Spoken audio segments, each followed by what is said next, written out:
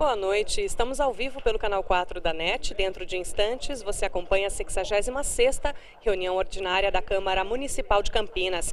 Na noite de hoje, os vereadores analisam e votam nove projetos de interesse para a cidade, entre eles um projeto de autoria do Executivo. O projeto será comentado pelo vereador Luiz Rossini, ele que é presidente da Comissão de Meio Ambiente, no intervalo da sessão.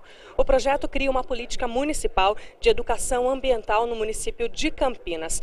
A ideia é divulgar informações e conhecimentos sobre a sustentabilidade e o equilíbrio social e ambiental da cidade de Campinas, desculpa, nós vamos conversar com ele a respeito do projeto no intervalo e entre os detalhes do projeto ele prevê que as escolas públicas e privadas de Campinas também incluam na sua grade de discussão a questão do meio ambiente. E nós vamos conversar também com o vereador André Von Zuben, ele que tem um projeto na noite de hoje que declara órgão de utilidade pública a associação Programa Social Formando Cidadãos Competentes, a ONG Só Cidadão. Nós vamos, conversar, nós vamos conversar com ele a respeito desse projeto dele que está na pauta de hoje e também de um fórum internacional sobre patrimônio arquitetônico entre Brasil e Portugal que vai acontecer o dia todo ao vivo aqui na Câmara amanhã a partir das 9 horas da manhã. Você que se interessa pelo assunto pode conferir no nosso site campinas.sp.leg.br toda a programação.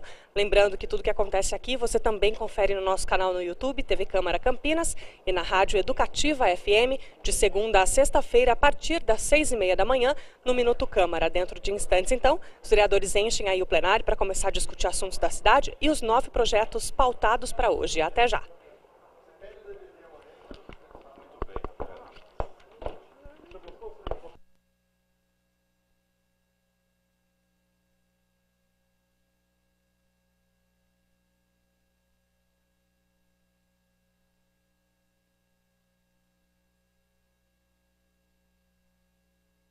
Vereador senhor Luiz Lauro Filho, o primeiro secretário, proceder à chamada presença dos nobres parlamentares para iniciarmos a 66ª reunião ordinária.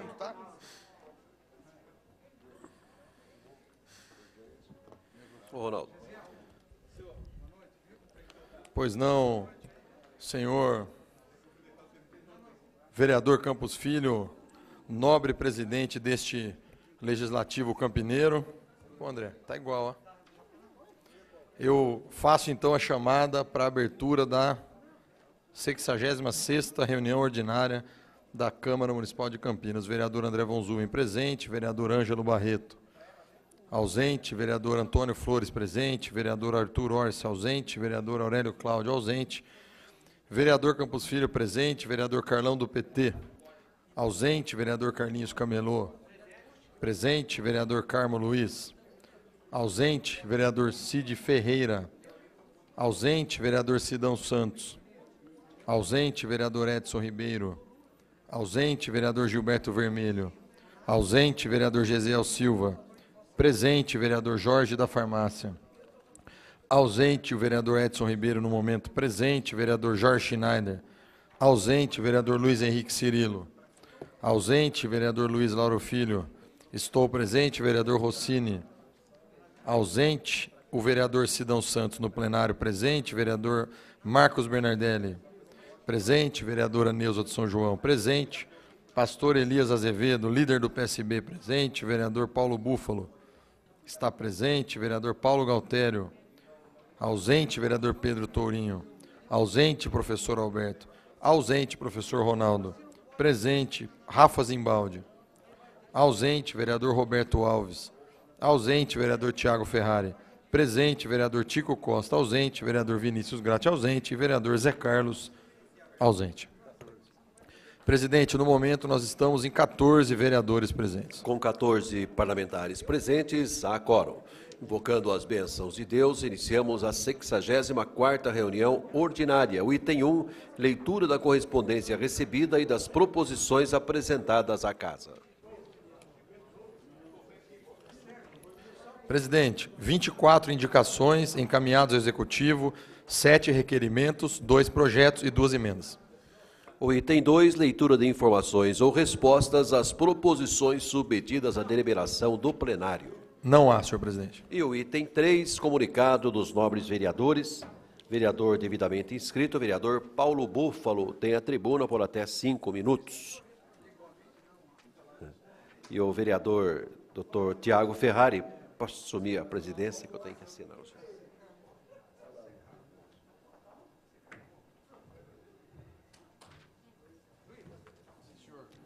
Senhor presidente, senhores vereadores, público aqui presente, telespectadores da TV Câmara, internautas é, que acompanham a nossa sessão, boa noite.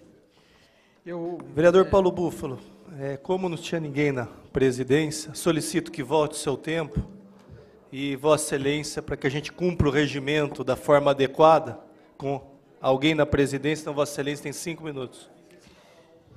É, boa noite. Eu venho a essa tribuna, senhor presidente, nesse tempo de, é, de comunicar de vereadores, dizer que ontem é, estive na, é, participando na Unicamp é, de um seminário que discutiu a gestão pública da educação e foi um seminário proposto, como eu havia informado, pela congregação da Faculdade de Educação da Unicamp e debateu especificamente na mesa em que estive presente o caso de Campinas. Então, o convênio com as organizações da iniciativa privada que vem é, sendo inserido na rede municipal de Campinas sobretudo com o foco na gestão. Pude dividir a mesa com a professora Helena de Freitas, que já foi secretária municipal de educação, é, com um trabalhador da rede, o professor Cláudio, e também com uma representante da secretaria, que respondia, na verdade, é, pela aplicação do projeto, mas naturalmente não pôde responder aos vários questionamentos que surgiram da plateia e da própria mesa em relação ao convênio firmado entre a administração municipal eh, e assinado pelo prefeito Jonas Donizete com um conjunto de organizações privadas que atuam na área de gestão pelo país afora. É, como não poderia deixar de ser, o convênio com essas organizações, é, com a Falcone, com a Comunitas e outras organizações que estão no pacote, ele foi extremamente contestado por é, é, é, por, pelo grupo que estava lá e pelos representantes à mesa, avaliar que essa é uma forma de transferência de recursos públicos, recursos que deveriam ser canalizados para melhorar de fato a educação pública, é, para organizações privadas que nada é, vão acrescentar no que diz respeito à qualidade da educação. É, o que me chamou a atenção também por parte de, é, de trabalhadores, é, dos participantes, foi destacar que a melhoria do desempenho de escolas nas avaliações no IDEB, e em outras avaliações, não necessariamente significam uma melhoria da qualidade da educação oferecida para os filhos e filhas é, das pessoas que são atendidas pela rede municipal de Campinas. Portanto, é, é, de maneira sintética, nesse minuto que me, que me resta, eu quero dizer que procurei levar é, para a mesa e para o debate como historicamente essas organizações foram se apropriando de dinheiro público, se apropriando de brechas para poderem entrar é, nas, nas redes públicas de educação pelo país afora e como isso foi amarrando, na verdade, a canalização de recursos públicos para organizações é, é, organizações privadas. Então, a presença é, de, da gestão privada é, nas redes públicas de educação e de saúde. E fico aqui, então, nesses 30 segundos, com um alerta para a população de Campinas. Essas organizações, sejam com cara própria, sejam através de gestores que têm sido formados é, pela, pelas organizações privadas, estão entrando na rede pública de educação da cidade de Campinas, e a única forma de barrar isso é a mobilização social, é a presença da comunidade refutando esse processo que para a administração de Campinas já é um processo dado Vereador. pela opção política feita pela atual administração. Muito obrigado, senhor presidente. Obrigado, vereador Paulo Búfalo. Vereador, vereador Luiz Lauro tem até cinco minutos nos termos regimentais desta casa. Muito obrigado, nobre vereador Tiago Ferrari, neste momento presidente dessa sessão, meu primeiro presidente de Câmara aqui. Obrigado aos vereadores presentes, boa tarde, boa tarde ao público presente, vereadora Neuza do São João, nossa única parlamentar mulher aqui dessa casa, uma grande vereadora, vereador Cid Ferreira, o decano dessa casa. Cinco mandatos, hein, vereador? Senhores, eu venho a essa tribuna hoje para dizer de uma visita ilustre que recebi hoje em meu gabinete, aqui nesta casa.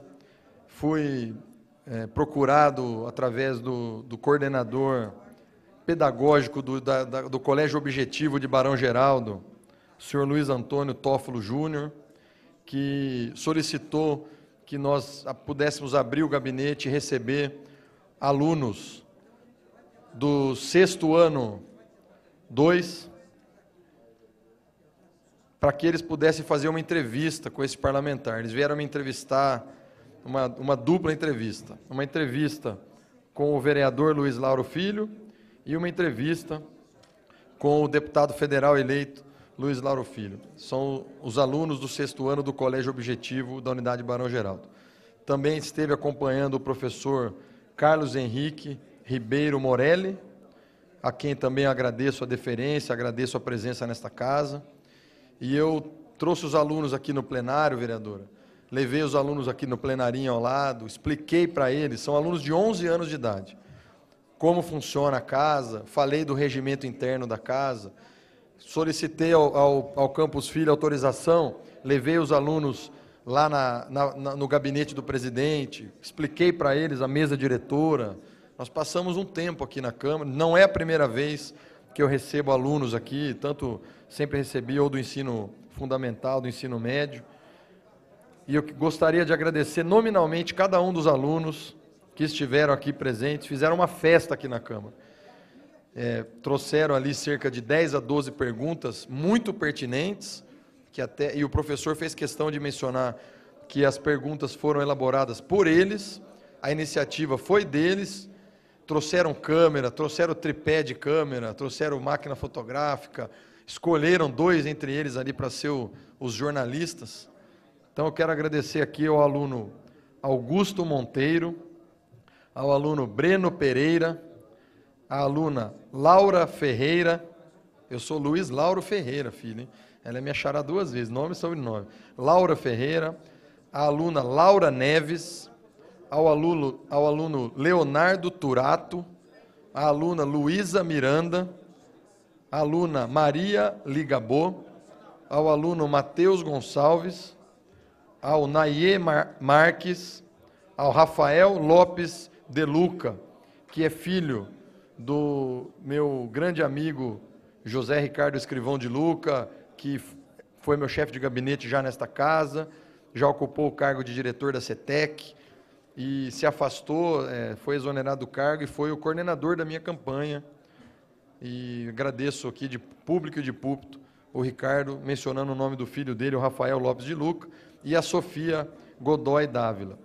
Mas eu vim nessa tribuna, primeiro porque eu disse a eles que viria aqui agradecer e mencionar e dizer o nome de cada um deles, bem como do coordenador e do professor. Mas também para dizer aos senhores vereadores dessa cidade e nós, vereadores de Campinas, que eu senti nessa visita a importância de que seja inserido no currículo escolar uma matéria, ou um estudo, ou um curso, algo que trate da política. Vocês que são homens públicos, mulher pública, vereadores da cidade, devem sentir nas ruas, às vezes pessoas, vereador Cid Ferreira, muito bem instruídas, mas que pouco conhecem do processo político. Nós que acabamos de passar por uma grande eleição para deputado estadual, federal, senador, governador e presidente da República. Então, eu venho aqui dizer aos senhores que Estarei aqui com vocês até o dia 30 de janeiro e depois, a partir do dia 1 de fevereiro, como deputado no Congresso Nacional, na Câmara dos Deputados, que levarei essa bandeira, levarei essa demanda importante para que seja incluído na educação, talvez um estudo seja realizado para ver qual é a faixa etária mais importante para que a criança tenha consciência política. A gente recebe, às vezes, pessoas no plenário, né, vereador? Vereadores, é, pessoas às vezes que não conhecem o processo político, então levarei para Brasília como deputado federal essa bandeira de incluir no ensino a questão do ensino político. Muito obrigado. Obrigado, vereador Luiz Lauro. Apertei a campainha, faltando dois segundos, vereador Luiz Lauro, para Vossa Excelência terminar com tranquilidade seu raciocínio, que, aliás, é de suma importância a gente fazer esse debate dentro da sociedade, fazer com que as pessoas entendam, conheçam política, para que elas possam fazer, fazer um juízo de valor. Então, parabéns aí, vereador Luiz Lauro, por atender esses alunos do Colégio Objetivo lá de Barão Geraldo. Próximo vereador inscrito. Vereador do PSDB, vice-líder do governo, vereador Marcos Bernardelli. Vereador Marcos Bernardelli, só oriento que Vossa Excelência não bata muito no, em respeito a Bilhel Soares, na tribuna Bilhel Soares, que Vossa Excelência foi muito agressiva. Tipo. Posso sorrir ou não? Senhor presidente, senhores e senhora vereadora Neuza do São João, público presente, munícipes que nos acompanham pela TV Câmara, boa, boa tarde, boa noite. Senhor presidente, eu acho que o momento também sendo de reflexão, eu fico preocupado, porque aqueles jovens do PT que aqui tiveram, estiveram na segunda-feira, hoje talvez é, acabou aquele fogo momentâneo e não compareceram. Mas como é um momento de comunicados por parte dos nobres vereadores, eu, como disse na sessão passada, é, a eleição, vereador Cid Ferreira, da presidente Dilma, não elimina crimes, não exclui responsabilidades, não é excludente de culpabilidade, ou seja, as investigações que eles estão sujeitos, ou seja, a cúpula do PT, irão continuar e nós estaremos aqui para comunicar. Eu gostaria que aqueles simpáticos jovens que vieram aqui fantasiado, hoje já não estão mais, pelo menos ouvisse o que nós tínhamos para dizer, porque na data de hoje já veio uma revelação, senhor presidente, que já é estarrecedora. Não tem fundo e não tem fim o que se fizeram e o que se fez com a Petrobras. Um alto executivo, na tarde de ontem, compareceu ao Ministério Público Federal e da Polícia Federal e propôs a delação premiada é o seu Júlio Camargo, executivo da Toya Stal, empresa que tem contratos de cerca de 4 bilhões com a estatal Petrobras. Olhe bem, senhor presidente, ele é o primeiro dos executivos das grandes empresas a assinar um acordo de delação e deve revelar detalhes sobre como funcionava o esquema de corrupção. E, especificamente no caso do seu Júlio, ele retrata as transações, entre aspas, com o senhor Renato Duque, homem do PT, levado pelo Zé Dirceu, que não acabou nem de sair da cadeia, já começou a estar envolvido. Deve voltar, deve voltar, deve voltar, deve voltar para Papuda, porque o senhor Renato Duque era o homem do Zé Dirceu que tratou de algumas transações com o senhor Júlio Camargo. Essa empresa da qual ele era responsável tem vários contratos chegando a 4 bilhões de reais. Mas o que é mais interessante, vereador Cid Ferreira, a, a diretoria do seu Renato Duque foi responsável pela elaboração do projeto e pelas licitações de uma das maiores obras da Petrobras, o Comperge, Comperge, Complexo Petroquímico do Rio de Janeiro. De forma similar ao que aconteceu lá em Abreu Lima, no Pernambuco, o complexo teve um custo multiplicado por cinco, vereador Tiago Ferrari, que começou a ser construído em 2008. Para se ter uma ideia, vereadora Neuza do Sanzon, o valor da obra estimado, estava estimado em 8 bilhões e 400 milhões de dólares, portanto, 21 bilhões de reais, quando o complexo começou a ser erguido. Mas já consumiu vereador Tiago Ferrari 47 bilhões e 7 milhões de dólares. Ou seja, 118 milhões de reais. Vereador bilhões, desculpa.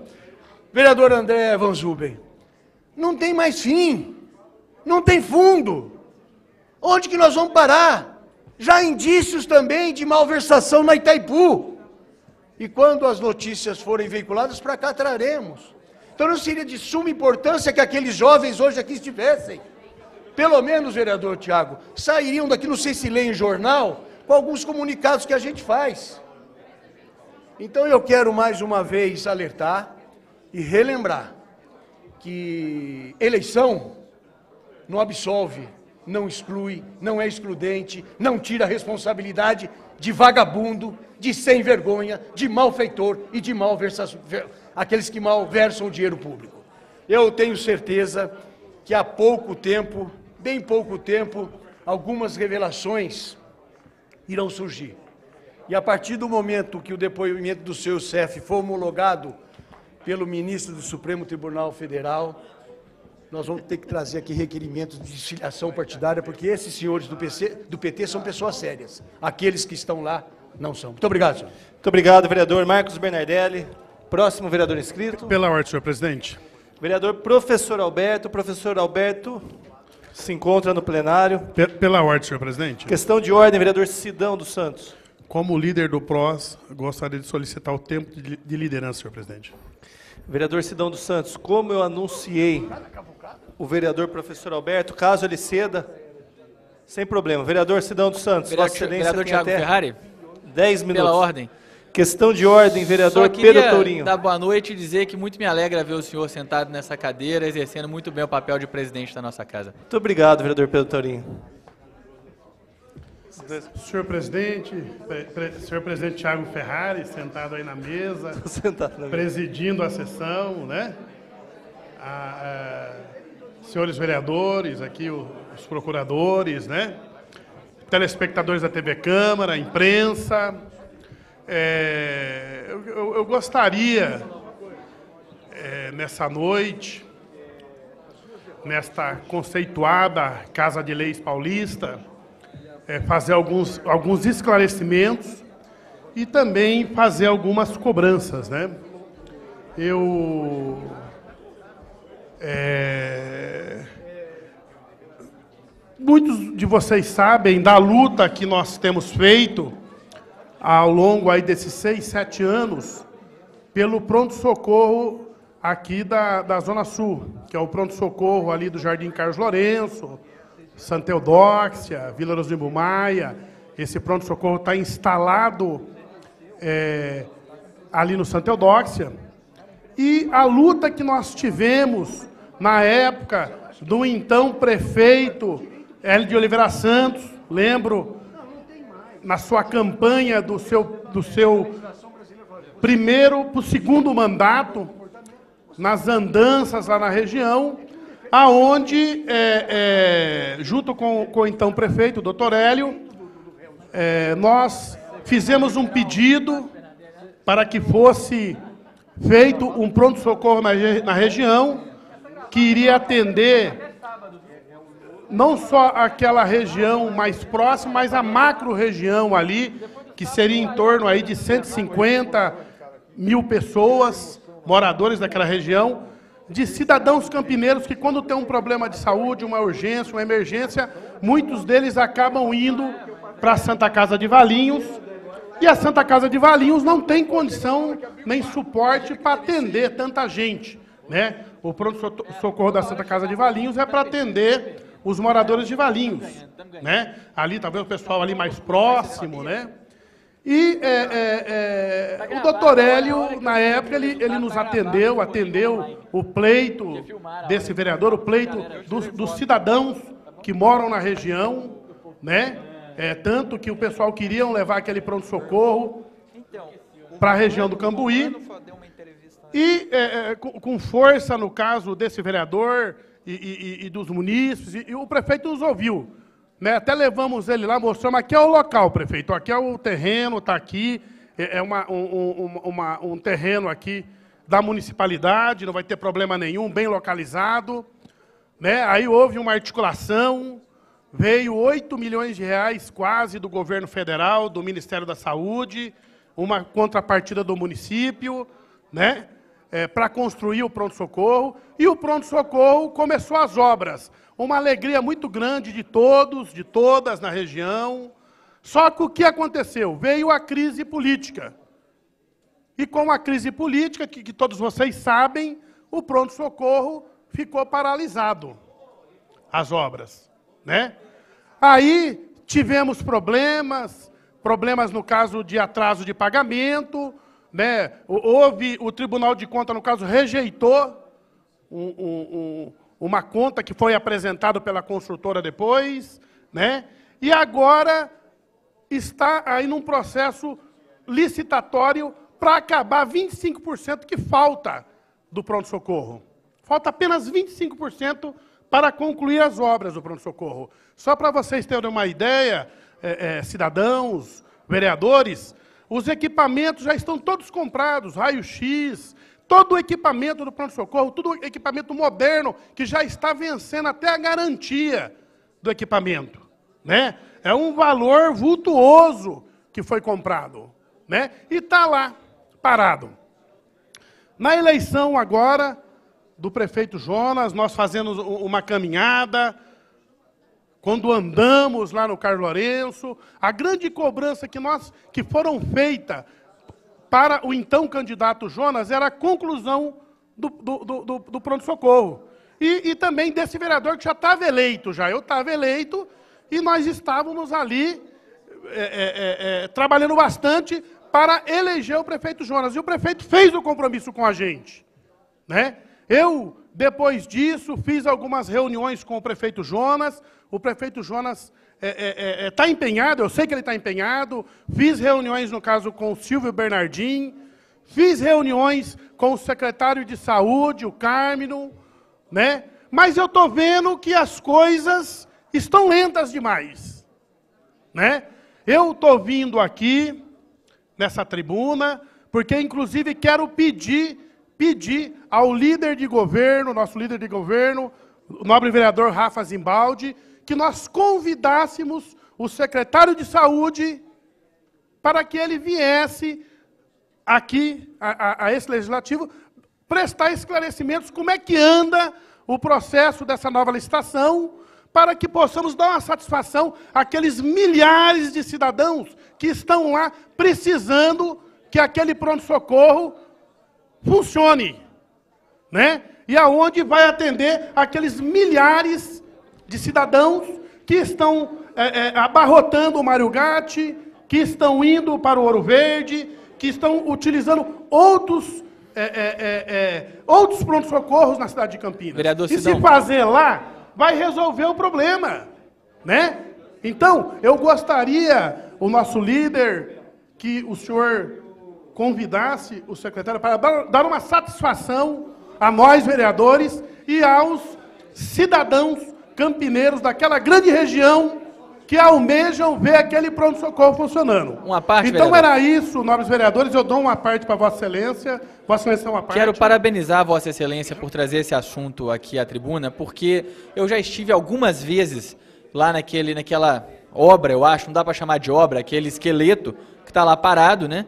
É, é, que é esse, esse pronto-socorro. E para mim essa é uma das obras vivas, das provas vivas da inépcia dessa administração, da falta de compromisso dessa administração com o SUS e da incapacidade que essa administração tem de resolver e tocar problemas aparentemente simples. O prejuízo para a saúde da população da não inauguração, da não instalação desse serviço, ele não tem como ser medido. Me preocupa muito que a prefeitura, por acaso, cometa aquele velho expediente das velhas prefeituras de passar três anos enrolando uma obra que poderia ter sido concluída no primeiro ano, sacrificando a população de forma sensível para chegar em último ano de mandato e fazer inauguração e parecer que merece alguma coisa, senão uma grande vaia. Então quero parabenizar Vossa Excelência por ter trazido esse assunto à tona. Muito obrigado. E, então era isso, nobres vereadores. Eu, né, nesses meus três mandatos consecutivos, com muita alegria nesse legislativo, talvez aquela é a minha maior briga, a minha maior luta na saúde de Campinas. Eu quero concluir meu terceiro mandato, vemos aquele, aquele grande instrumento público que vai fazer a diferença na saúde daquela grande região funcionando. Então era isso, muito obrigado, senhor presidente e nobres vereadores. Obrigado, vereador Sidão dos Santos. Próximo vereador Pela inscrito, ordem, vereador presidente. professor Alberto. Questão de ordem, vereador. Eu gostaria de requerer tempo de bancada do Partido Verde. Vereador Rossini, como vereador, professor Alberto já estava inscrito, mas ele acabou de abrir mão para que Vossa Excelência possa manifestar. Vossa Excelência tem até 10 minutos. Agradeço, professor Alberto. Eu solicito também que a plateia tem todo o direito de se manifestar, de aplaudir, de vaiar, mas que quando um vereador estiver falando, não fique criando um diálogo, porque assim como quando nós estamos presidindo aqui, a gente não permite o diálogo, a gente peça essa compreensão da plateia. Muito obrigado. Vereador Luiz Carlos Rossini, Vossa Excelência tem até 10 minutos. Obrigado, senhor presidente, senhores vereadores, cidadãos de Campinas. Primeiro, agradecer a gentileza, presidente, do vereador professor Alberto e dessa presidência que permitiu que eu fizesse uso desse tempo de liderança. Mas o que me traz aqui, primeiro foi uma matéria que eu li hoje no Correio Popular que me chamou a atenção e que, na minha opinião, merece uma reflexão mais detalhada, atenta por parte dessa casa e da cidade. É, a matéria trata fala que 10% da população da região metropolitana é beneficiária do Bolsa Família. E que na cidade de Campinas nós temos 29.580 famílias cadastradas no Bolsa Família, representando, se pela matéria, que em média cada família é constituída por quatro pessoas, são cerca de 120 mil pessoas no nosso município vivendo na pobreza ou na pobreza extrema. 10% da população de Campinas hoje vive nessa situação. Esse é um fato, na minha opinião, muito preocupante, porque nós não estamos em qualquer cidade, em qualquer região, em qualquer estado. É, a gente admitir que ainda exista cerca de 10% da população de Campinas, vereador Cid Ferreira, vivendo na pobreza ou na pobreza extrema, é algo profundamente preocupante. Eu estou formalizando um requerimento. É, certamente essas famílias estão todas cadastradas e referenciadas nos centros, nos CRAS, né, no Centro de Referência da Assistência Social. Eu sei que no passado já foi feito um mapeamento da situação da, de, das regiões de vulnerabilidade da cidade, mas eu considero fundamental que a gente possa aprofundar ainda mais esse olhar e fazer um diagnóstico mais detalhado, primeiro, do perfil dessas famílias, o número de pessoas por família e a situação mesmo estrutural dessas famílias.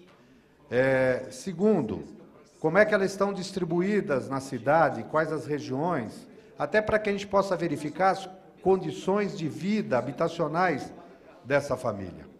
E quais os programas de assistência, de promoção, hoje que estão sendo disponibilizados para essa família, além, obviamente, do recurso do Bolsa Família.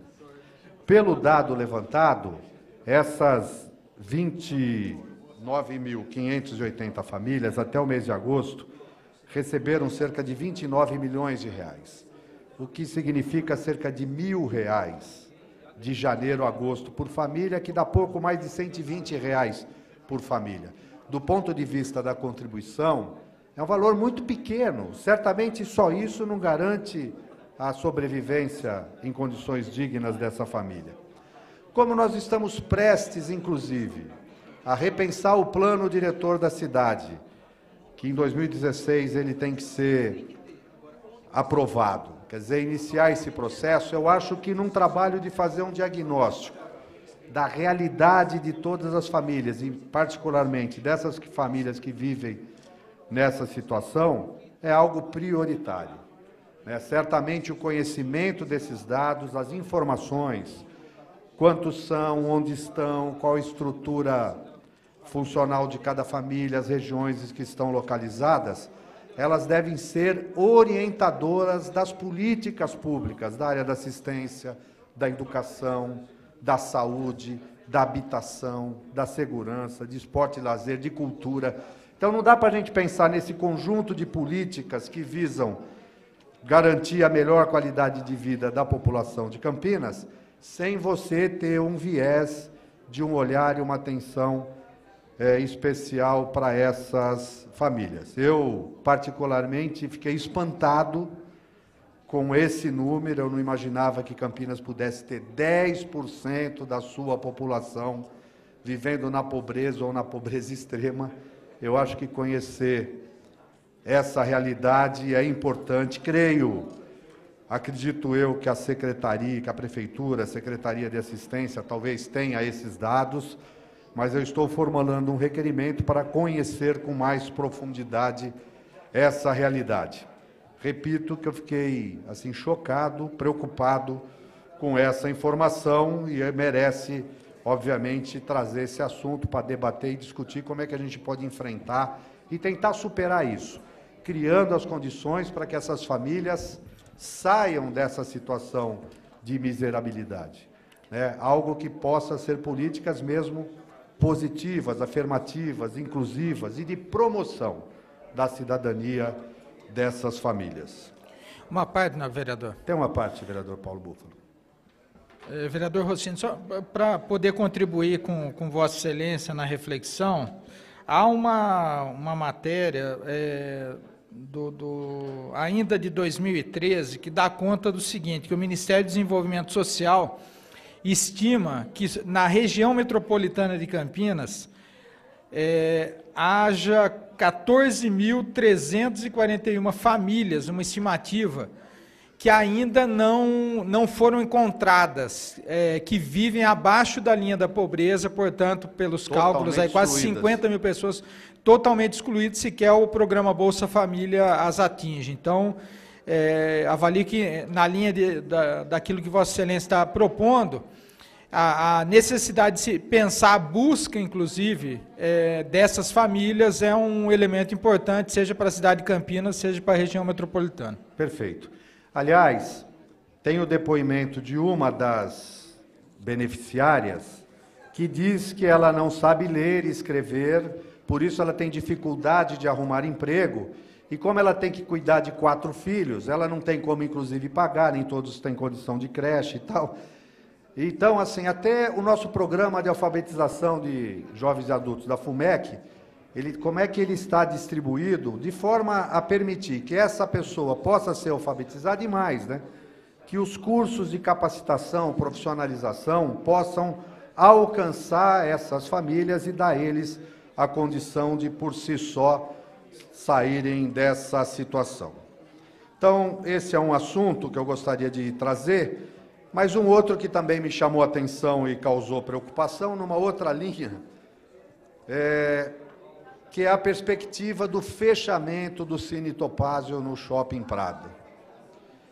É, ainda é o único e talvez o último dos redutos né, de espaço onde você possa assistir filmes de qualidade, né, que fogem daquela linha da preocupação comercial, né, os modelos hollywoodiano, hollywoodiano de cinema, filmes de qualidade, filmes artísticos que provocam a reflexão, que fazem a gente pensar, documentários. E há aqui a preocupação, porque parece que a empresa que renovou o contrato lá, ela está pensando em talvez utilizar aquele espaço de outra maneira, já que algumas das salas também não têm tido a manutenção adequada. E já começa na internet e nas redes sociais um movimento no sentido de tentar se evitar que a gente acabe com esse local que é um espaço importante. Eu tenho ido assistir alguns filmes é, com a minha esposa lá, são aqueles que não estão no circuito comercial, e a gente tem que fazer todo o esforço para tentar preservar. E isso pode ser, inclusive, um fator de atração turística, porque hoje, se alguém quiser assistir filme dessa natureza, tem que ir para São Paulo. E não é só Campinas, toda a região. Eu acho que se a gente conseguir, e nesse sentido eu vou procurar a Secretaria de Cultura, tentar fazer uma reunião, é, para ver que medidas, é óbvio que lá é um shopping privado, lá é uma rede particular, mas como o município, num esforço coletivo, pode fazer para evitar que o Cine Topázio se feche e que a gente perca mais esse espaço de consumo da boa cultura, do filme que vale a pena, pela, pelo menos para aqueles que gostam desse tipo de arte. Então, era isso, senhor presidente, senhores vereadores. Obrigado pela atenção. Muito obrigado, vereador Luiz Rossini. Finalmente, Vossa Excelência, vereador, professor Alberto, Vossa Excelência, tem seus cinco minutos regimentais na tribuna Biléu Soares. Senhor presidente, senhores vereadores, público presente, telespectadores da TV Câmara, muito boa noite a todos com horário de verão, a gente nem pode falar mais boa noite, né, senhor presidente? Tá boa claro, tarde. Boa tarde, né? Está claro ainda. Senhor presidente, senhores vereadores, hoje, dia 29 Cid. de outubro, é comemorado no país o Dia Nacional do Livro. É, e essa casa tem alguns projetos de incentivo à leitura, de incentivo também como temas, temas transversais, para que, inclusive, alguns jornais têm incentivado esse trabalho para melhorar o nível educacional das nossas crianças. E hoje, especificamente dia 29, o país comemora, está no calendário do país, o Dia Nacional do Livro. Essa data, 29 de outubro, ela foi escolhida porque no dia 29 de outubro de 1810, a Biblioteca Nacional do Livro foi inaugurada no país. E é por isso que então ficou dia 29 como Dia Nacional do Livro. E algumas iniciativas de algumas redes, algumas editoras, têm sido bastante interessante as experiências na cidade de Campinas. O shopping aqui Campinas, na, na, na entrada aqui de Campinas, por exemplo, fez algumas experiências com feiras literárias, trazendo várias editoras e dando descontos interessantes de vários títulos de livro e foi um sucesso. Houve uma, uma procura enorme, porque ainda o livro no Brasil é muito caro. O livro ah, é lamentável, mas é caro o livro no país. Então, nem muitas pessoas gostariam de adquirir um, um bom livro para ler tem dificuldade. E, por outro lado, nós não temos ainda uma cultura de participarmos de locação do livro nas bibliotecas. Nós não temos essa cultura. Normalmente, quem faz isso é só o aluno que está estudando na escola. Aí, ali está a biblioteca, ele vai na escola, mas não faz parte ainda da nossa cultura. E hoje, o jornalista Gilberto Dimestein, ele fala sobre a possibilidade de deixar um livro no táxi. Né? Então, cada pessoa, incentivando as pessoas que usam táxi a, a utilizar dessa, desse livro, desse material. É, essa é uma, uma ideia que está sendo gestada, está sendo construída. Existe, por exemplo, em Barão Geraldo, vereador Tiago, é, em pontos de ônibus, alguns livros para as pessoas que estão esperando o ônibus estarem lendo uma boa literatura, um livro, ou mesmo os jornais. Então, são atividades criativas para despertar é, no cidadão a leitura, através é, dessas iniciativas. E também, há pelo menos um ano, atrás, uma série de, de editoras colocaram à disposição do cidadão de Campinas, aqui no centro, feiras de livro, com preços também acessíveis à população. Eu trouxe para essa casa, essa casa votou a Semana do Livro, com essa objetividade para fomentar feiras do livro. Claro que nós não temos um ambiente como tem a Bienal do Livro em São Paulo, é, aquele espaço para fazer uma feira daquela dimensão. Mas a cidade ganha muito, uma cidade que tem bastantes universidades, como é o nosso caso. Muita gente culta, que gosta de estudar, que gosta de ler.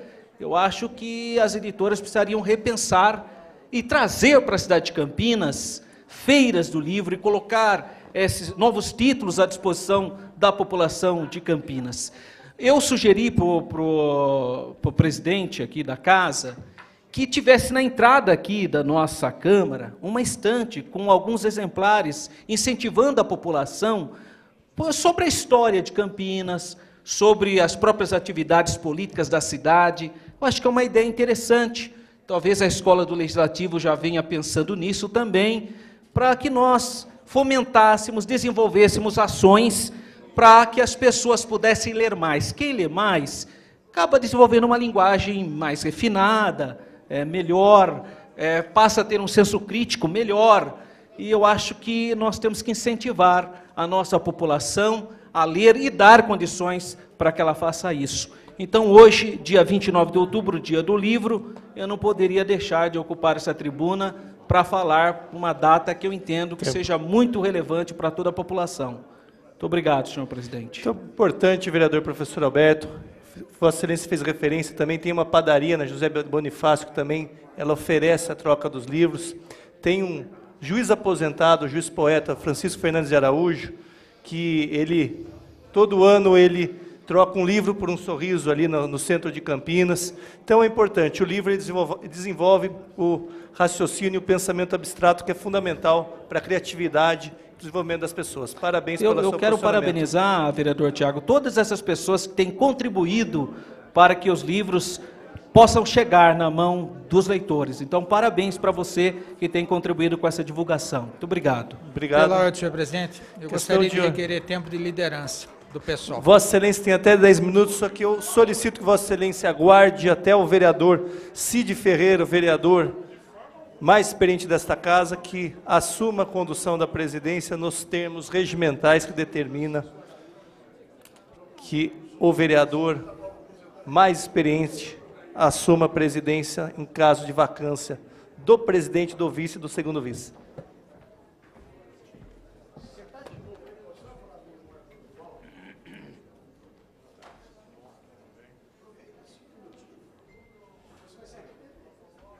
Vereador Paulo Bufo está com a palavra, por 10 minutos. Fala, senhor, garoto. Senhor presidente, volto a essa tribuna. É, embora tenha sido provocado a falar do Alckmin, mas não, não é que falte assunto. Mas eu gostaria de tratar aqui do tema trazido pelo nobre vereador Rossini, nobre vereador professor Alberto, porque tem a ver com o Cine Topázio. O Cine Topázio, além de ter uma sala de cinema alternativo, também tem um, uma pequena biblioteca ali na porta, onde as pessoas podem também ter acesso a esse livro, pode trocar livros, pode oferecer livros ali nesse, nesse espaço. E eu gostaria de voltar a tocar nisso, porque, de certa forma, é o seguinte: nós temos uma situação que o conjunto de, dessa, dessas, é, de, é, dos shopping centers aí da cidade, não só aqui em Campinas, mas eles têm aquela prioridade é, econômica. Aí, né, nessa situação do Topaz, por exemplo, estão dizendo que a, aquela área pode ser utilizada como uma praça de alimentação. E, invariavelmente, a situação que nós temos é que eles se instalam, começam a funcionar, depois vão ampliando e vão acabam girando vários dos seus dos seus equipamentos para essas estruturas que dão mais lucro. Então, eu gostaria é, de compartilhar com, com Vossa Excelência, vereador Rossini, dessa preocupação, porque há de se ter uma, uma retribuição social é, por parte desse, desses grandes conglomerados, respondendo com espaços como esse, respondendo com outras iniciativas, porque, de certa forma, há um impacto também que eles trazem para todo o conjunto da região, que não dá para ser olhado só pelo lado é, do comércio que eles oferecem.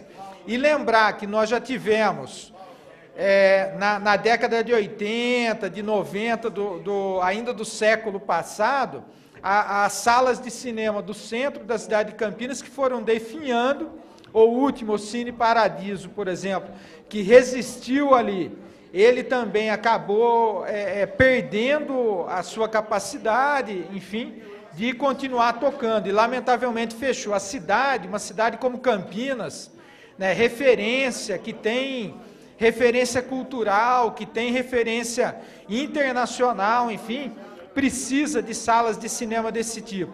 Lembrar que no caso de São Paulo, no caso do cinema Belas Artes, ele só não foi demolido por conta da preservação da estrutura, do prédio. Mas há de se ter outros instrumentos que valorizem né, esses espaços, inclusive o nosso mandato já teve oportunidade de, numa parceria com o Simpro, Sindicato dos Professores, promover é, um filme é, lá na, que discutiu a questão dos agrotóxicos, lá na, nessa sala de cinema e nós avaliamos que é positivo isso, para que as pessoas possam ter acesso. Então, quero compartilhar isso. Vamos ajudar, de repente, divulgando o abaixo-assinado que está em curso, né? É, a petição, é, dialogando com aquela comunidade, que é a nossa comunidade também, porque moro na, na região, e é, tentando fazer é, sensibilizar né, os responsáveis para que o Cine é, é, é, Topázio possa continuar existindo. A sala do Cine Topázio. Bom, por outro lado, eu quero trazer aqui nesse tempo de liderança um início de debate aqui sobre o orçamento municipal, programa 2015 aí. Na próxima segunda-feira, dia 3, às 14h30, nós estaremos debatendo aqui o orçamento, então a administração deve mandar aqui os responsáveis pelo conjunto do orçamento e nós vamos então apreciá-lo. Então, ao começar a fazer um estudo detalhado, é natural que nós peguemos aquelas áreas mais sensíveis da cidade e possamos observá-las com um olhar mais é, cirúrgico. Nesse caso, eu iniciei o meu estudo pela Secretaria de Educação. Vejam só, esse ano nós temos um parâmetro de avaliação do orçamento diferenciado do ano passado, porque o orçamento de 2013 foi executado pela atual administração, mas foi elaborado pela administração passada.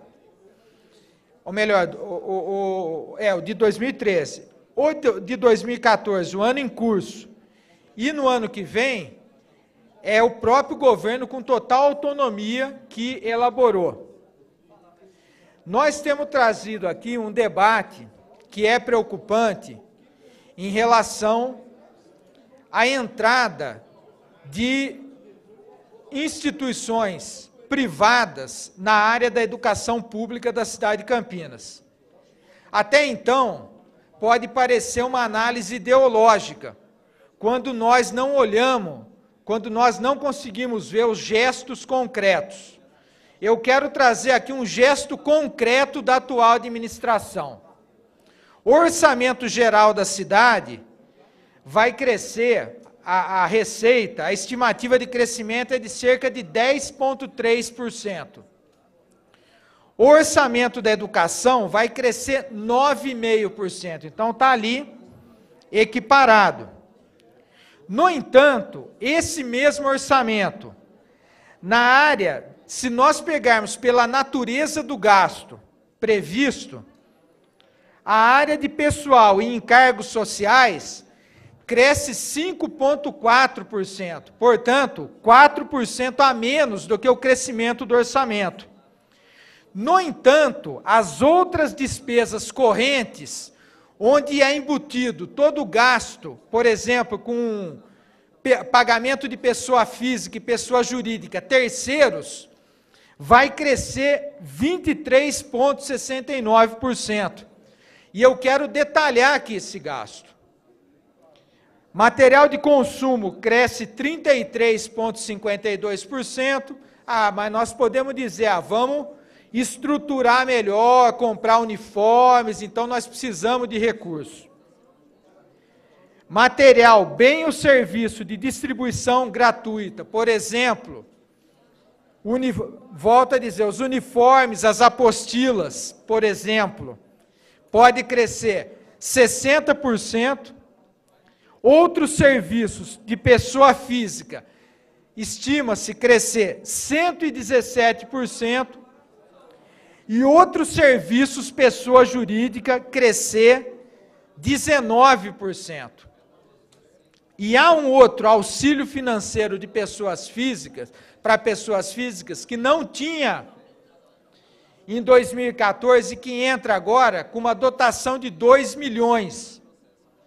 O que me parece, numa leitura do orçamento, é que esse recurso aponta para cumprir uma das cláusulas previstas no convênio com a Comunitas, no convênio com a Falcone.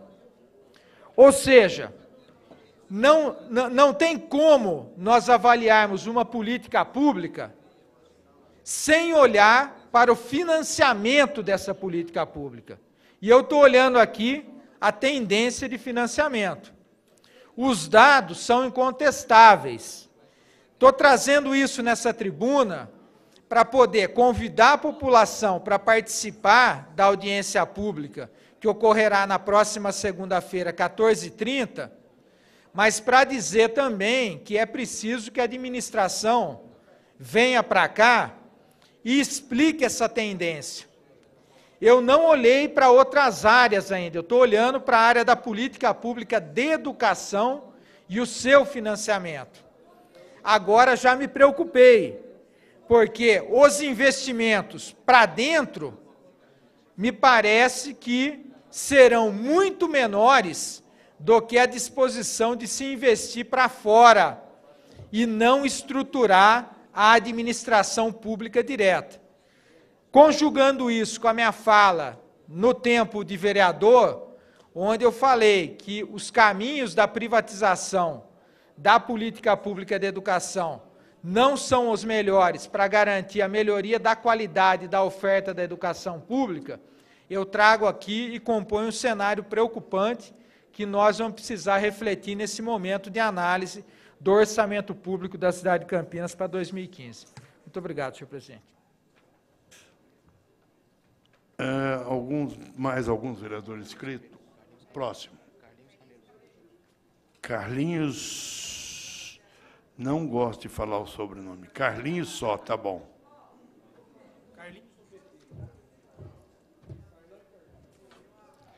Boa noite, senhor presidente. Boa noite, vereadores, público presente, pessoal da TV Câmara. É, Cid, por você não gostar de falar o, o Carlinhos Camelô, mas eu gostaria que poderia falar.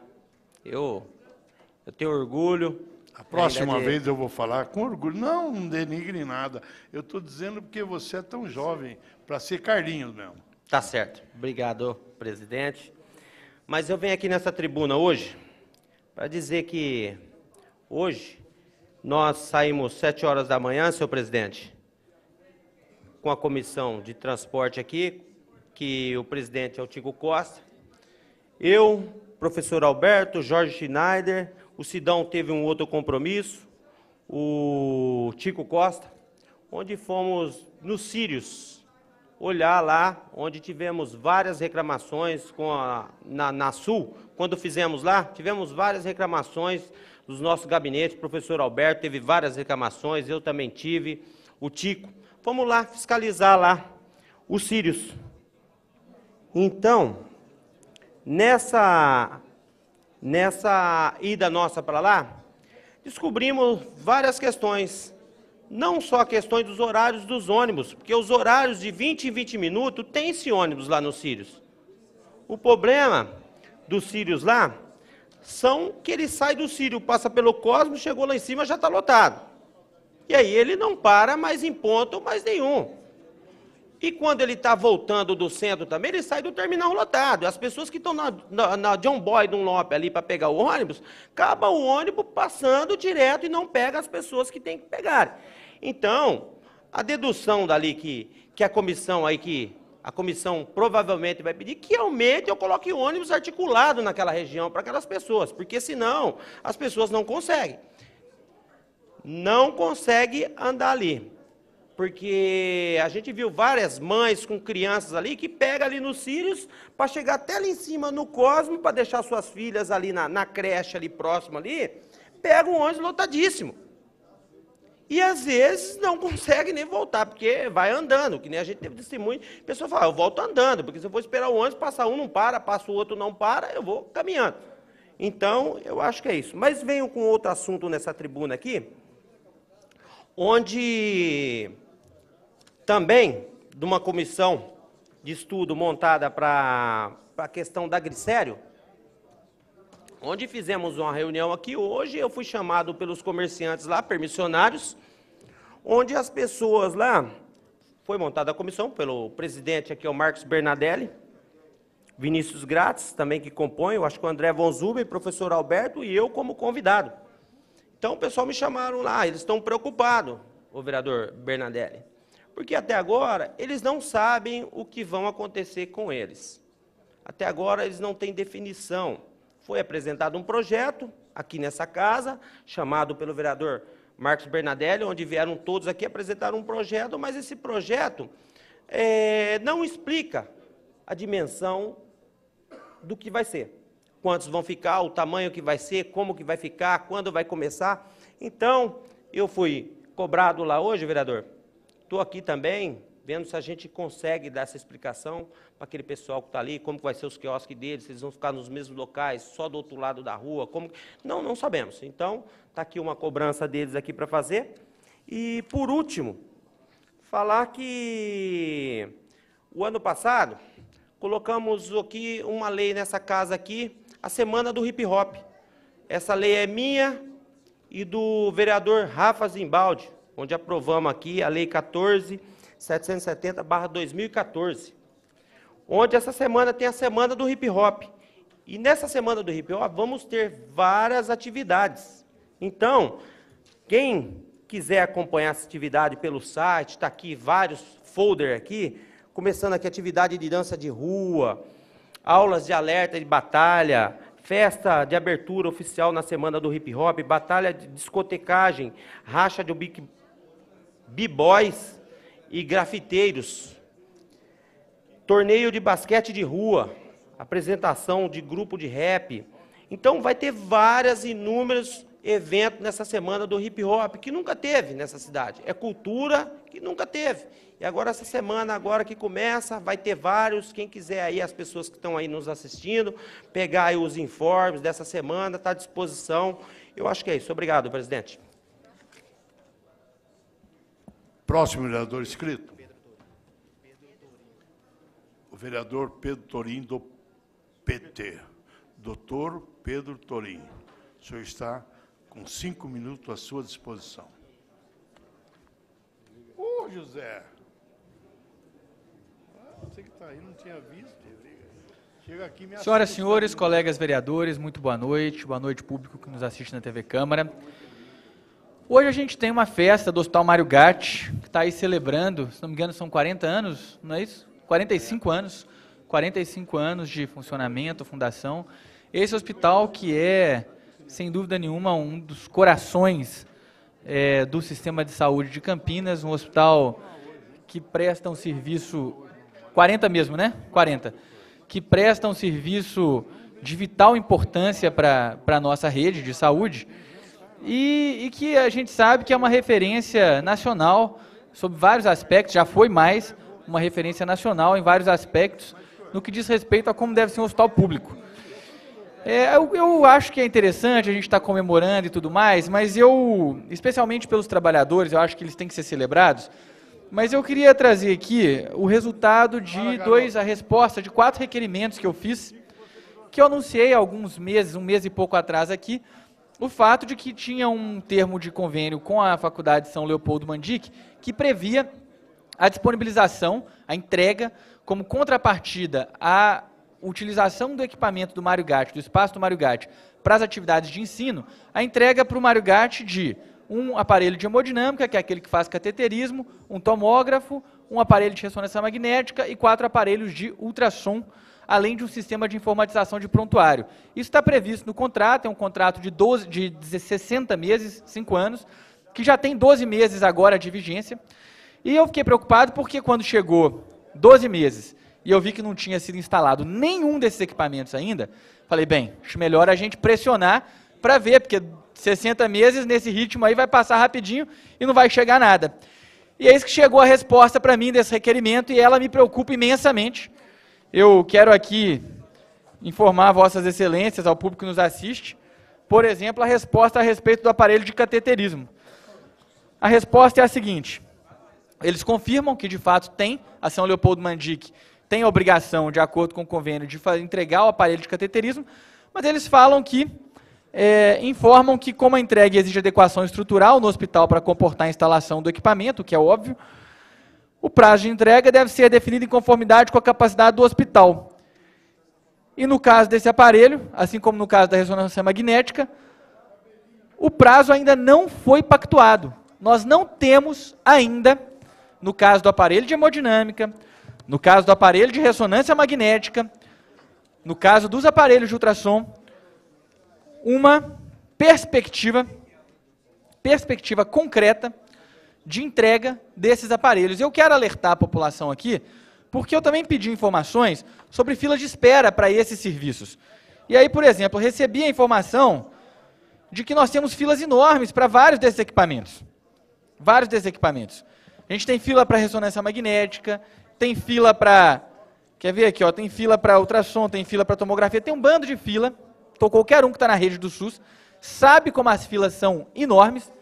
E aí a gente tem, vejam só, a possibilidade de ter uma entidade privada que vai se beneficiar do nosso equipamento público, que é o Mário Gatti, construído com o nosso dinheiro, com o dinheiro dos nossos impostos, que cobra uma fortuna para ter seu curso de medicina, para os estudantes poderem estudar, que tem toda a condição financeira de beneficiar o SUS e que, de alguma maneira, o que, é que eu avalio? Eu avalio que a gestão municipal já devia ter os prazos para tudo isso.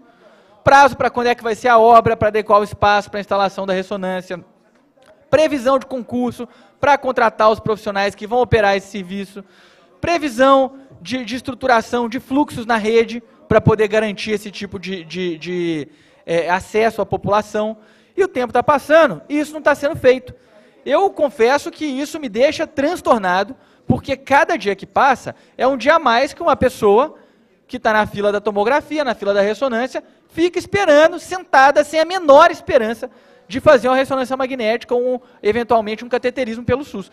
Então, a gente, a gente sabe como é que isso é grave. Então, eu quero aqui celebrar o Hospital Mário Gatti nesse dia de hoje, dizer que ele é um equipamento vital mas que se o Hospital Mário Gatti não for tratado com mais respeito pela administração pública municipal, se a administração pública municipal não tiver coragem e principalmente não colocar no orçamento do ano que vem, e aí quero falar que eu vou fazer um estudo do orçamento na área da saúde e vou propor emendas que tratem justamente da realização de obras para adequação do Hospital Mário Gatti aquelas, aquelas situações que vão ser necessárias para que esses equipamentos possam funcionar. Eu espero que a gente tenha, no mínimo, um ou dois desses equipamentos instalados já no ano que vem. É isso, muito obrigado.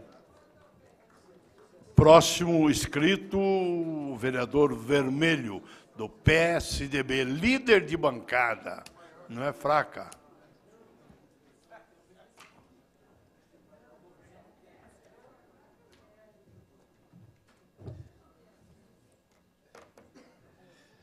Presidente vereador Cid Ferreira, é uma honra pronunciar aqui sobre o comando de Vossa Excelência. Quero cumprimentar aqui todos os vereadores, cumprimentar a vereadora Neuza São João, Cumprimentar todos os senhores e senhoras presentes nesta casa e todos que nos acompanham pela TV Câmara neste momento. Senhores vereadores, eu, depois desse processo eleitoral cansativo, eu, desde segunda-feira, eu venho refletindo sobre a política brasileira, o que está acontecendo e o que pode acontecer com o nosso país. E tentei montar de forma muito simples, da forma que eu conseguiria ter uma visão de como se encontra o nosso país, e fui procurar estudar um pouquinho a respeito, principalmente das delações premiadas. E o primeiro a fazer a delação o ex-diretor de abastecimento da Petrobras, senhor Paulo Roberto, que fez as devidas delações, uma vez que sentiu-se na necessidade de fazer, porque estava comprometido não só ele, mas toda a sua família, e isso se tornou uma questão irreversível para que ele pudesse fazer a delação. Até então, essa delação não foi encarada de forma que poderia contribuir com o esclarecimento de corrupção no nosso país. Mas, em virtude do sucesso da delação de Paulo Roberto, o doleiro Youssef chegou e fez um acordo com a Polícia Federal que ele tinha muito mais a contar do que o Paulo Roberto uma vez que as penas dele eram penas tão ou mais graves. E aí, a delação desse doleiro realmente foi uma delação que comprometeu, da mesma forma que Paulo Roberto, as empresas que estavam envolvidas nesse escândalo de corrupção. E o que, que nós estamos notando agora? O que, que está acontecendo? Tivemos agora a delação do seu Júlio Camargo, executivo da Torre. E esse, na sua delação, já começou com o pé lá em cima, dizendo realmente que as três empresas, a Treviso, a Piemonte e a Augure, repassaram para o Youssef mais de 13 milhões numa pancada só. E o que está acontecendo, senhores? Uma vez que a velocidade da delação se comprova através de documentos, as empresas envolvidas estão correndo para fazer a delação. Porque nós temos aqui a UTC, a Constran, temos a IGVix, a Mendes Júnior, a Cabar Corrêa. São empresas conhecidíssimas no nosso país. E os seus diretores que estão diretamente relacionados com o escândalo de corrupção no país, já estão também correndo para fazer delação. Porque ouve-se a boca pequena é o seguinte: por que, que eu vou tomar 100 anos de cadeia, sendo que quem tem que tomar cadeia são os que vão ficar aí dois, três anos, que são os políticos que vão salvar? Então eu vou, se eu não pude fazer isso até agora, eu vou ajudar o meu país. Eu vou entregar tudo mesmo, todo o esquema de corrupção que teve na nossa empresa. Porque desta forma, eu acho que não vai diminuir aquilo de mal que nós fizemos para o nosso país. Mas vai colaborar, sim, para que futuras empresas que forem trabalhar nesse país possam ter a consciência que não é desta forma que qualquer empresário pode ganhar dinheiro nesse país. Então, aqui, senhores vereadores, minha querida vereadora Neuza do São João, Vossa Excelência é uma comerciante bem sucedida, porque trabalha das seis da manhã às seis da noite, fora tuas atividades como grande parlamentar que é. E nós sabemos a dificuldade que nós temos como comerciante para honrar, pagar os impostos direitinho, né? pagar tudo aquilo que é de obrigação dos contribuintes. E a gente saber que o dinheiro nosso foi desviado de uma forma sorrateira e que não é pouco dinheiro. Então, senhor presidente, concluindo, é de deixar qualquer um indignado, e por isso que eu fui saber o que está acontecendo no nosso país e fiquei muito indignado. E espero que tudo isso venha à tona e os culpados sejam realmente penalizados e apurados. Obrigado, senhor presidente. Próximo inscrito. Não havendo, suspendo por 15 minutos.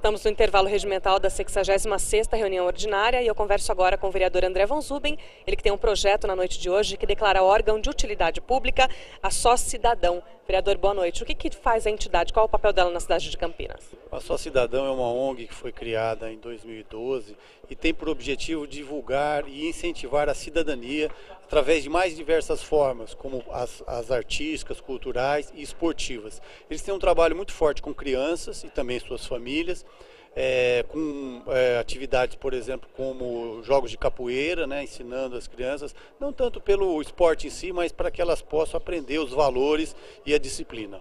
Agora, a entidade já está atuante em Campinas desde 2012 e hoje a Câmara declara órgão de utilidade pública. Para quem está nos assistindo entender, o que, que isso significa para uma entidade como essa? Ser declarado órgão de utilidade pública, além de ser um reconhecimento da cidade de que aquela instituição presta um serviço importante para a cidade, ela também possibilita que essa instituição com esse título de utilidade pública, possa buscar recursos, tanto junto ao poder público, quanto também às empresas que disponibilizam é, condições para apoio às ONGs e, com isso, elas terem condições de sobreviver e implementar o seu projeto. Agora, amanhã a Câmara realiza um fórum internacional para discutir patrimônio arquitetônico entre Brasil e Portugal. O que, que isso significa e o que, que vai ser discutido, o senhor que está à frente desse evento aí, colaborando e contribuindo para esse evento que acontece? Bom, é uma oportunidade muito grande para a cidade, porque além de tudo vai ser assinado um convênio de cooperação com a prefeitura, aonde Portugal, com toda a sua experiência de recuperação de patrimônio arquitetônico, vai ajudar os nossos arquitetos a poder fazer todo um trabalho de recuperação do patrimônio artístico e arquitetônico da nossa cidade. Na, no dia de amanhã nós teremos é, dois professores de universidades portuguesas que são especialistas, vão estar falando para a gente, além de arquitetos aqui do Brasil, pessoal do Condefac.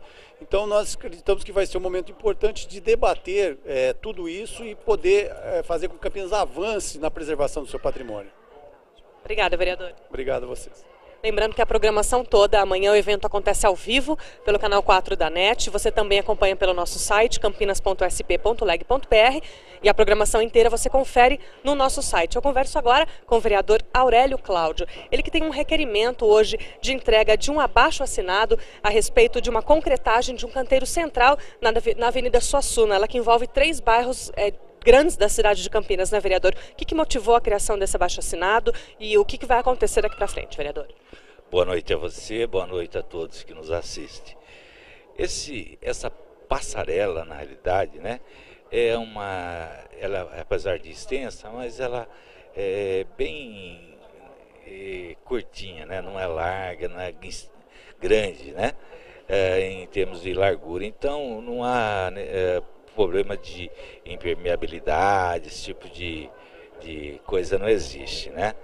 E, e, e é na Avenida Suassuna, onde se tornou um grande comércio da região oeste da nossa cidade, né? E nesse local é, transitam uma grande quantidade de pessoas circulando naquele comércio, já que ali é, as duas é, paralelas, as duas, as, as, duas laterais né, da avenida, é, está recheada de comércios que a, atendem toda a região oeste da cidade, especialmente a região dos diques. Né? E nos dias de chuva ali formam um lamaçal, né? as pessoas escorregam naquela terra, aquele barro que forma nesse canteiro. Né? Ali nós já tentamos de tudo no passado, é, a gramagem aconteceu em várias oportunidades, foi um dinheiro desperdiçado, já que devido ao trânsito né, de pedestre, acaba estragando, a grama não acaba evoluindo, né? Então ali o ideal mesmo seria concretar, fazer um trabalho mais bem feito, mais bem elaborado, para melhorar o visual, inclusive daquele trecho que se tornou o coração da região do, do, do oeste da cidade, o coração da região dos diques. A ideia então é garantir mais a questão da segurança e da praticidade para a população e para o comerciante que vive ali, né, vereador? Exatamente. É, tornar o local mais seguro, né? É, e também deixar o local mais bonito, né? Uma concretagem bem feita, bem elaborada, com uma certa pintura, tenho certeza que ia ficar mais bonito, ia estar um visual melhor e o, o, os tantos comerciantes como a população que ocupam aquele espaço iriam ficar bem mais felizes. E a Câmara cumpre o seu papel, né, vereador? Que além de votar e analisar leis para a cidade de Campinas, como é feito durante as reuniões ordinárias, os vereadores também fazem um intermédio aí de soluções para os problemas da população, né? É exatamente, esse é o nosso papel, né? Está intermediando, levando as demandas da região, do povo, né? para que o executivo tome providência e tente solucionar esses problemas e outros que possam vir daí. Obrigada, vereador. Eu que agradeço a oportunidade. Uma boa noite a todos. Eu converso agora com o vereador Luiz Rossini, ele que é presidente da Comissão de Meio Ambiente da Câmara Municipal de Campinas e vai falar a respeito de um projeto do Executivo que começa a tramitar e será votado hoje em primeira discussão. Projeto esse que cria uma política municipal de educação ambiental no município de Campinas. Boa noite, vereador. Na prática, como que vai ser essa política? Bem, primeiro é bom falar que essa proposta de iniciativa do Executivo, da Secretaria do Verde, Meio Ambiente e Desenvolvimento Sustentável, é o resultado de um processo de construção coletiva, vários segmentos, setores, não só da prefeitura, das várias secretarias, educação, empresas e autarquias, mas também da sociedade, participaram durante mais de ano para elaborar essa proposta de política municipal. A ideia a, e, a, e, o projeto de lei estabelece assim os eixos, as diretrizes né, de ações e os eixos daquilo que deve constituir uma política permanente de promoção da consciência ambiental, de educação ambiental. E a proposta prevê você desenvolver ações tanto de educação formal, ou seja, incluir no currículo das escolas, atendendo aquilo que já existe no Plano Nacional de Educação, né, as diretrizes, para que elas possam ser incorporadas e traduzidas em conteúdos programáticos como temas transversais, todas as disciplinas, mas de uma forma construtivista, ou seja, que o processo de educação ambiental se dê não apenas com informação teórica, com conteúdo teórico, mas com ações práticas para que as crianças, nos vários níveis de educação, possam incorporar os princípios e os conceitos de educação ambiental. Ele também prevê diretrizes para como promover a educação que a gente chama não formal aquilo que está fora né, do conteúdo formal da educação, mas envolvendo as entidades de educação. Muitas vezes no contraturno, propondo outras atividades que possam, de forma complementar, fora do currículo formal, mas a compreensão é, e absorção né, dos valores ambientais. E a educação informal, aquela que acontece no cotidiano. De certa forma, hoje as pessoas desenvolvem a sua consciência ambiental não apenas daquilo que ela lê nos livros, que ela vê na escola, mas na prática, na atividade do dia a dia. E talvez seja essa forma informal de educação que permita alcançar com maior intensidade um maior número de cidadãos. Então, nesses três eixos, a política está estruturada. É óbvio que a política prevê quem são os agentes que vão, as entidades, os agentes de que vão participar dessa educação, ela procura estimular e envolver a participação de toda a sociedade, não apenas dos órgãos públicos, governamentais, das universidades, dos institutos de pesquisa, entidades de classe, sindicatos e outras organizações não governamentais. A ideia é trair para dentro da, da política todos os atores que de alguma forma podem contribuir com isso. Eu acho que ficou um trabalho fantástico é, do ponto de vista da, da elaboração, da formatação e qual a importância de aprovar essa lei. Que estabelecidas as diretrizes né, da política de educação, na sequência vai ser construído o Plano Municipal de Educação. Aí, atendendo a cada eixo da política, a cada princípio e diretriz que está ali estabelecido, qual vai ser o conjunto de ações e atividades que vão ser desenvolvidos para tornar, assim, cumprir os objetivos estabelecidos na política. Então, nem sei se falei muito, mas em linhas gerais é essa, é, esse é o princípio né, desse projeto da política, que é uma construção coletiva e que procura atender um dos também dos princípios né, desse modelo de desenvolvimento sustentável. A gente só vai conseguir construir uma sociedade sustentável no dia em que todo cidadão tiver na base essa consciência ambiental, essa consciência de que ele pode e deve ter um comportamento de respeito à natureza, que promova a conservação, a valorização dos recursos naturais, que faça uso racional da água, a crise da água hoje. É o assunto mais importante que a gente está vivendo agora, né, vereador? A maior crise ambiental que se possa pensar é o que diz respeito à água. Vai, esse é um do, das previsões de assunto para ser discutido aí com esses alunos, com os estudantes, enfim. Com certeza, dentro dos eixos de conteúdo, a, a criança, o jovem e o cidadão entender a importância da água, que a água é um recurso finito, que é, é essencial para a vida, mas que ele não está disponível na natureza, na quantidade e no local que a gente precisa. E como é que você garante que na região onde você vive, você pode ter uma produção de água? Que a árvore tem um papel importante, que preservar as nascentes é importante. E que fazer o uso racional desse bem também é uma coisa importante. Isso é consciência, isso é educação. Então a crise ela vai deixar ensinamentos de uma forma informal, às vezes, as pessoas estão entendendo que elas precisam ter uma postura mais adequada com relação a esse recurso natural.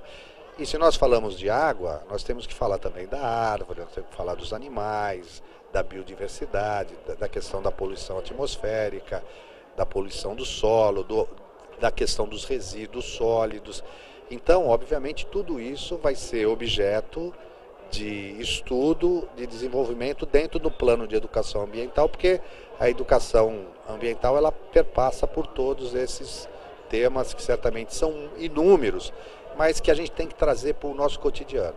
A gente vai aprender na hora que você consegue perceber o impacto daquilo, a importância daquilo para o teu dia a dia, para a tua vida, para a tua qualidade de vida. Quem sabe a gente pensando numa discussão preventiva para a nova geração, é, se possa evitar daqui 10 ou 20 anos crises como a gente tem enfrentado hoje. Será que é possível, vereador? É, eu acho que o caminho é esse. É claro que a gente precisa, obviamente, buscar na população adulta que ela cumpra o seu papel de responsabilidade.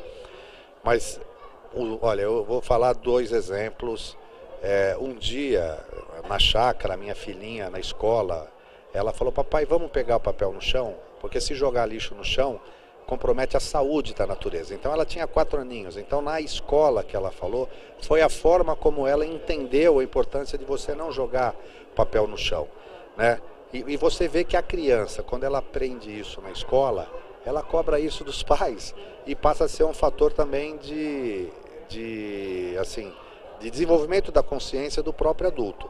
Com certeza, se a gente tiver uma política estruturada dessa maneira, nós teremos no futuro cidadãos mais conscientes e certamente muitos dos problemas que a gente vive hoje, a gente não vai viver porque as pessoas vão ter um comportamento, uma postura diferente da de hoje.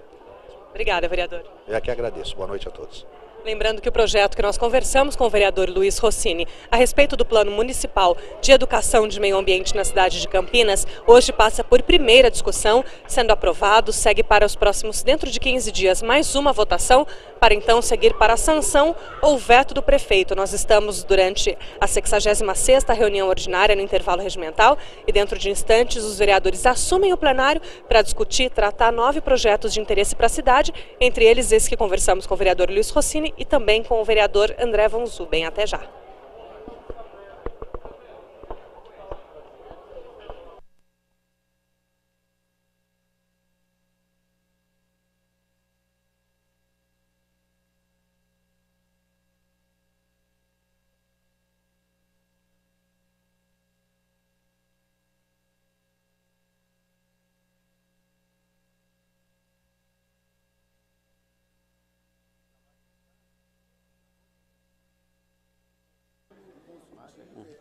deliberativo. Né? Vereador Ju... Luiz Lauro Filho, primeiro secretário, chamada de presença dos nobres parlamentares para que possamos reabrir a sessão na sua segunda parte, a sexagésima sessão reunião ordinária, vereador. Pois não, é, vereador Campos Filho, presidente desta casa, chamada para reabertura da 66ª reunião ordinária da Câmara Municipal de Campinas, ordem do dia. Vereador André Von Zuben, presente. Vereador Ângelo Barreto, ausente. Vereador Flores, presente. Vereador Arthur Orsi, ausente. Vereador Aurélio Cláudio. Presente, vereador Campos Filho, presente, vereador Carlão do PT. Presente, vereador Carlinhos Camelô. Presente, vereador Carmo Luiz. Presente, vereador Cid Ferreira. Está presente, vereador Sidão Santos. Presente, vereador Edson Ribeiro. Presente, vereador Gilberto Vermelho. Presente, vereador Gesiel Silva. Novo vereador Gesiel Silva. Presente, vereador Jorge da Farmácia. Vereador Jorge da Farmácia. Ausente. Vereador Schneider. Ausente. Vereador Luiz Henrique Cirilo. Presente. Vereador Luiz Lauro Filho, estou presente. Vereador Rossini. Presente. Vereador Marcos Bernardelli. Presente. Vereadora Neuza do São João. Ausente. Pastor Elias Azevedo. Presente. Vereador Paulo Búfalo. Presente. Vereador Paulo Galtério. Ausente, vereador Pedro Tourinho. Presente, professor Alberto. Presente, vereador professor Ronaldo. Presente, vereador Rafa Zimbaldi. Presente, vereador Roberto Alves. Presente. Presente, vereador Tiago Ferrari. Os dias desse homem estão contados. Ausente, vereador Tico Costa. Presente. Presente, vereador Vinícius Gratti presente. E o nobre vereador Zé Carlos também está presente no plenário. Senhor presidente, nós somos em 26 parlamentares presentes. Obrigado, vereador Luiz Lauro Filho, primeiro secretário, com 26 parlamentares presentes, a quórum. Pela ordem, parte, senhor presidente. Pela ordem, vereador professor Alberto. Senhor presidente, eu estou entregando nesse momento para a mesa um requerimento requerendo a constituição de uma comissão especial de estudos para debater e sugerir providências sobre os impactos para a região da Vila Industrial com a abertura da Casa da Cidadania. Ok, vereador. Obrigado. A mesa recebe e já para a próxima, a próxima reunião nós estaremos deliberando sobre a criação dessa comissão de estudos. Aliás, um do bairro mais velho, mais idoso de Campinas, muito representativo, que é a Avenida Industrial. Segunda parte, ordem do dia, incluído na pauta de requerimento de urgência 2237-14, devidamente aprovado. Item 1, turno único de discussão e votação do projeto de lei 248-14, processo 217.410, de autoria do vereador Sr. André Von Suben, que declara órgão de utilidade pública municipal a Associação Programa Social Formando Cidadãos Competentes, ONG Cidadão, Só Cidadão Parecer da Comissão de Educação, Cultura e Esporte favorável. Com o parecer favorável, entra em discussão.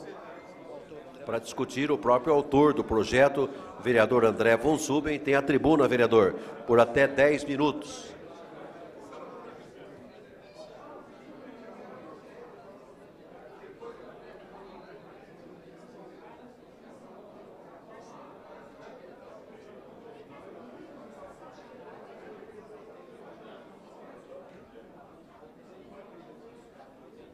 Alô? Som. Boa noite a todos, senhor presidente, senhores vereadores, população de Campinas que nos assiste pela TV Câmara e uma saudação especial a toda essa juventude, seus familiares da ONG Sou Cidadão que aqui comparece para abrilhantar a noite de hoje. De antemão, já agradeço a presença de todos. Hoje nós estamos aqui para falarmos e debatermos sobre um projeto de lei de minha autoria que concede o título de órgão de utilidade pública para a Associação Programa Social Formando Cidadãos Competentes, a ONG Sou Cidadão.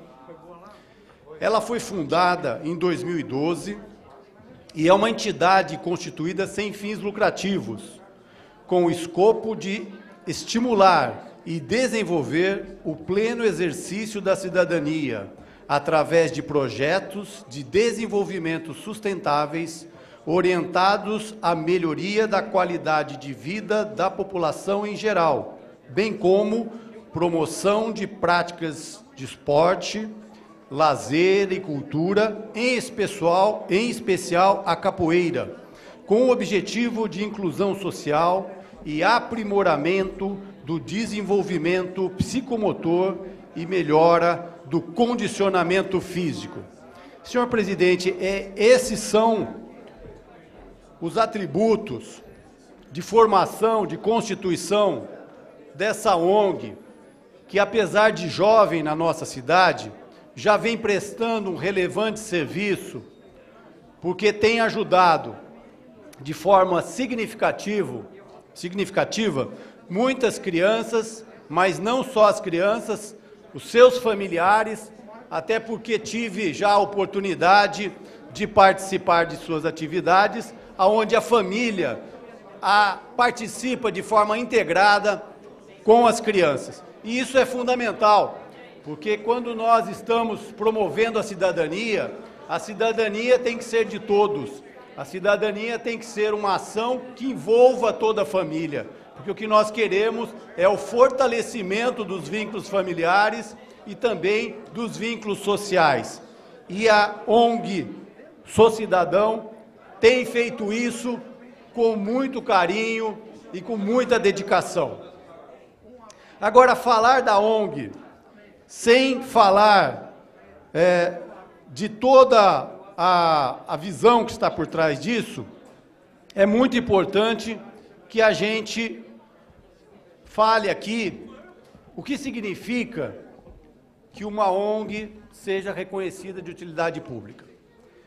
Para vocês que estão aqui representando essa querida ONG. A primeira coisa é que a partir do reconhecimento de utilidade pública, significa que a cidade de Campinas reconhece vocês como uma instituição importante para a nossa cidade. Além disso, o fato de ter esse reconhecimento ajuda para que vocês possam ter oportunidade de oferecer projetos aonde você, junto ao poder público ou a empresas, busque recursos para a manutenção desses projetos e até mesmo desenvolvimento de outros projetos. Então é fundamental ter esse reconhecimento para que você possa é, levar adiante cada vez mais forte esse trabalho que já é tão bonito. E nós temos procurado ajudar para que tudo isso aconteça. Agora eu queria aqui é, falar um pouco do idealizador dessa ONG, a pessoa que sonhou que isso tudo ia acontecer e mais do que isso, fez acontecer, que é o nosso querido mestre Rildo. Uma pessoa que não é só um mestre de capoeira, ele também é um mestre de cidadania, porque não fica só no sonho, ele põe em prática suas obras. Mas mais do que o mestre de cidadania, eu diria que é uma pessoa que por onde passa tem espalhado cada vez mais o amor ao próximo. Doar o seu trabalho, o seu conhecimento, seu e de sua família, para o bem das pessoas, das crianças e das demais famílias, é uma coisa muito nobre. E o Rildo tem feito isso com muita dedicação. Então eu queria dedicar esse título de utilidade pública municipal a todos vocês que participam dessa ONG, a todas as crianças, seus familiares, mas em especial aquele que sonhou, que mobiliza sua família, que está sempre presente em todas as atividades, que é o seu Rildo, e eu queria pedir a vocês uma salva de palmas para ele.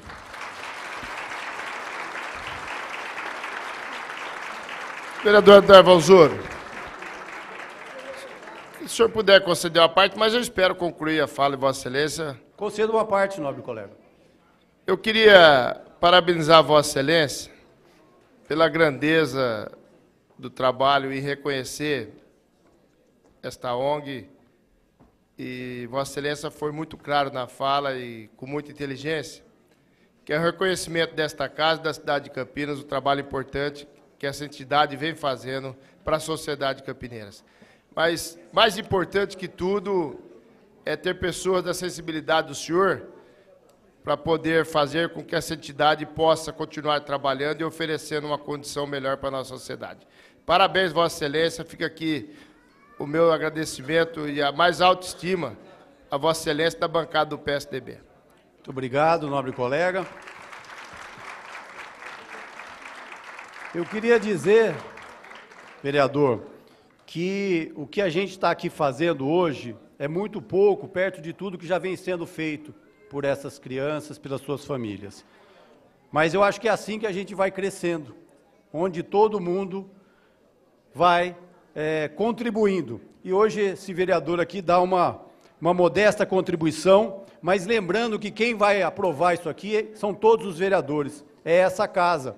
Então, nós temos que ter um profundo respeito e admiração por todos os vereadores que vão, se Deus quiser, estar aprovando na noite de hoje é, essa título de utilidade pública municipal. Por isso eu peço a todos o voto favorável e muito obrigado, senhor presidente, muito obrigado a todos.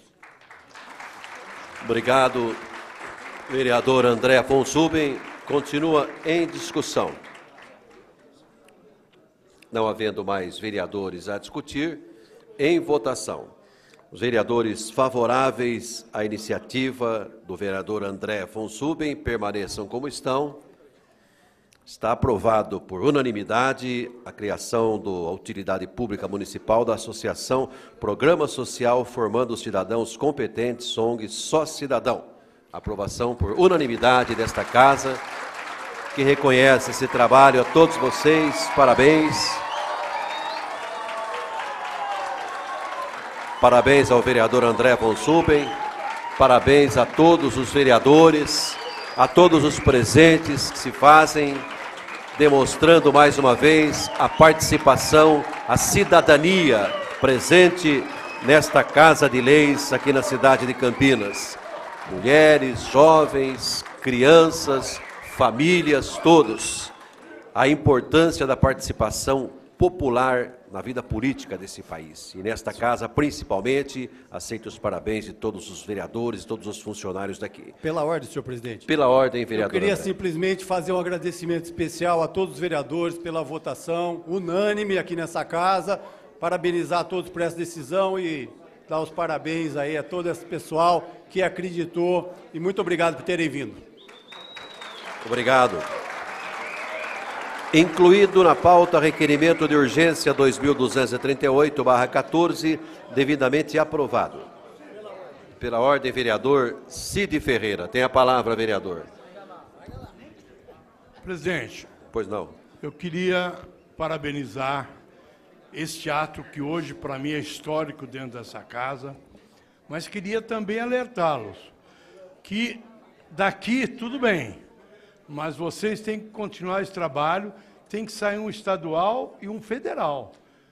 E que vocês precisarem dessa casa, eu tenho certeza que o nosso presidente receberá vocês sempre de portas abertas, porque é de uma importância vital, principalmente para aqueles que mais precisam.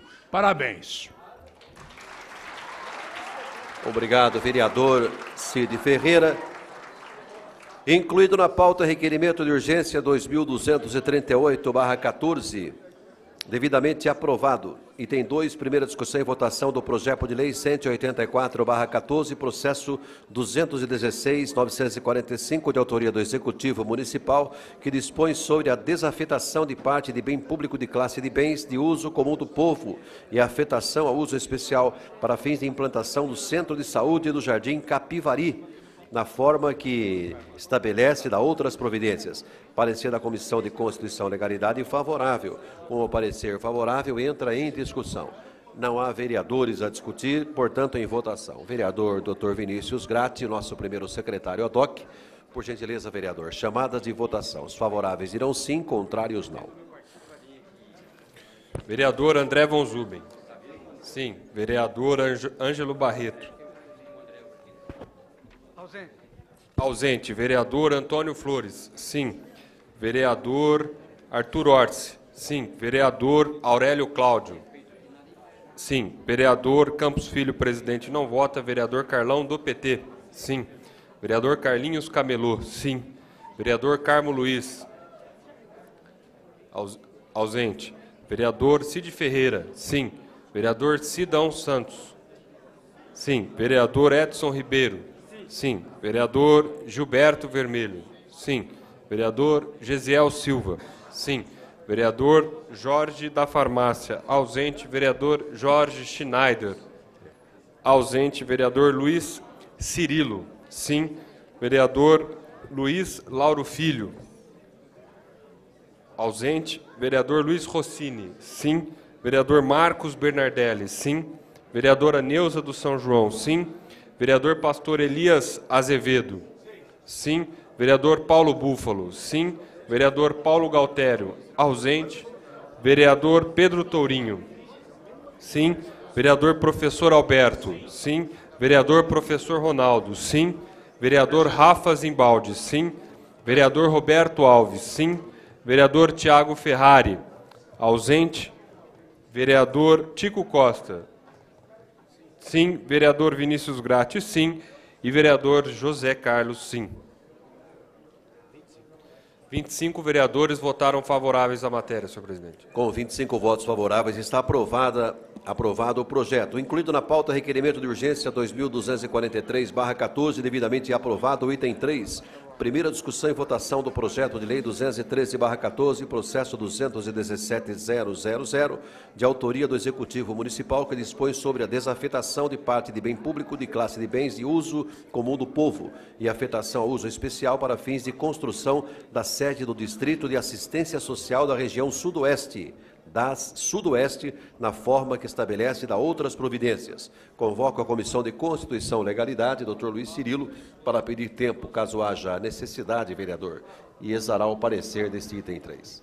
Senhor presidente, a comissão requer o prazo de 10 minutos. A sessão está suspensa por até 10 minutos.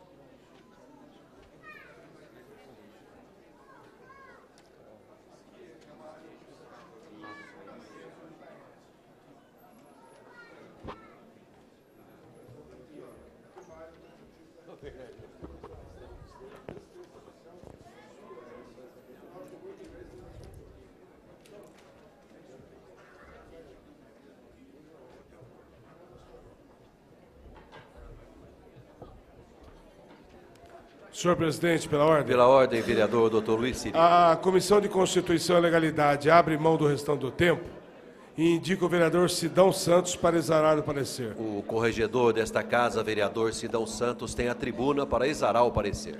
Senhor presidente, a Comissão de Constituição e Legalidade exara parecer favorável por maioria, senhor presidente. Com o parecer favorável por maioria, entra em discussão. Não havendo vereadores a discutir em votação, favoráveis dirão sim, contrários não. Primeiro secretário ADOC, vereador Dr. Vinícius Gratti, chamada de votação. Vereador André Von Zuben. Sim. Vereador Ângelo Barreto. Ausente. Vereador Antônio Flores. Sim. Vereador Arthur Orsi. Sim.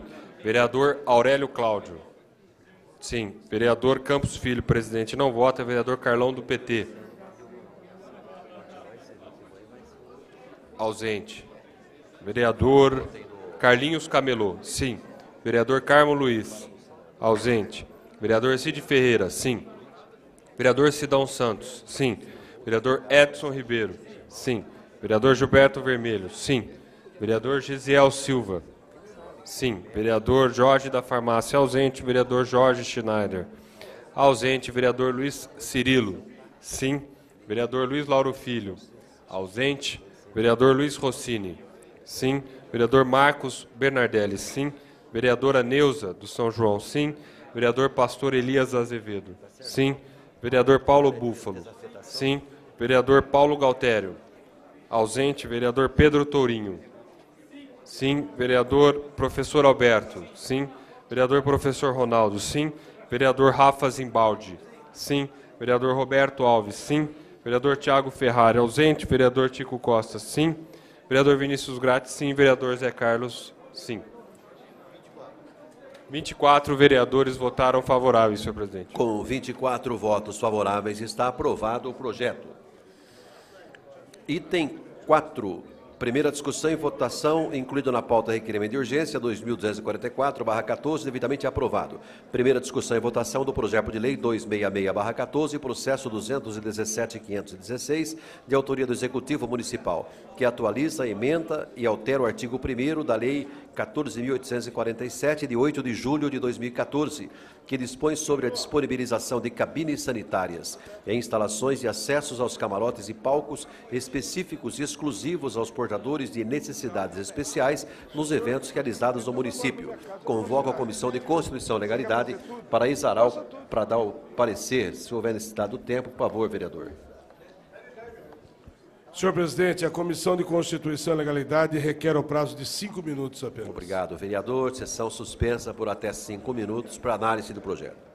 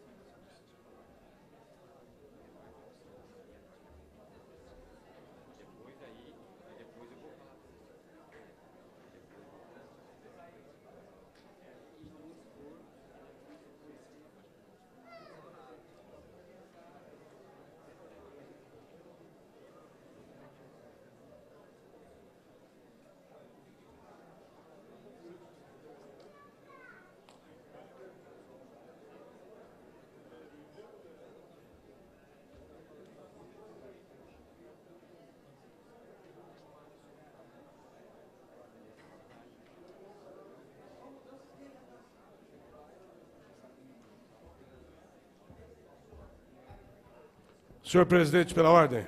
Pela ordem, vereador doutor Cirilo. A Comissão de Constituição e Legalidade abre mão do restante do tempo e indica o vereador.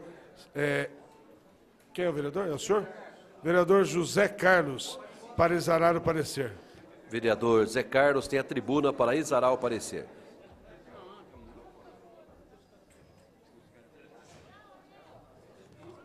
Senhor presidente, senhores vereadores, a comissão reunida exara parecer favorável por unanimidade. Com o parecer favorável por unanimidade, entra em discussão. Não havendo vereadores a discutir em votação, favoráveis permaneçam como estão. Aprovado. Incluído na pauta requerimento de urgência 2246-14, devidamente aprovado. Item 5, primeira discussão e votação do projeto de lei 286-14, processo 217-663, de autoria do Executivo Municipal. Que institui o programa de pagamento por serviços ambientais, autoriza o Poder Executivo Municipal a prestar apoio aos proprietários rurais e urbanos determinados pelo programa e dá outras providências. Convoca a Comissão de Legalidade para pedir tempo e exarar o parecer na pessoa do presidente, vereador Dr. Luiz Cirilo. Senhor presidente, a comissão requer o prazo de cinco minutos e, ao mesmo tempo, eu convoco e convido o presidente da Comissão do Meio Ambiente, vereador Luiz Carlos Rossini, para análise em conjunto. Ok, vereador. Suspensa a sessão por até cinco minutos.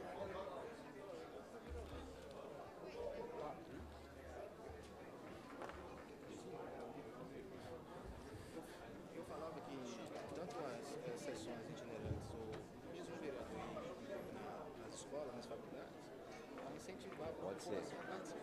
Mas primeiro temos que dar formação para os vereadores. Ele vai perguntar as coisas lá, daí...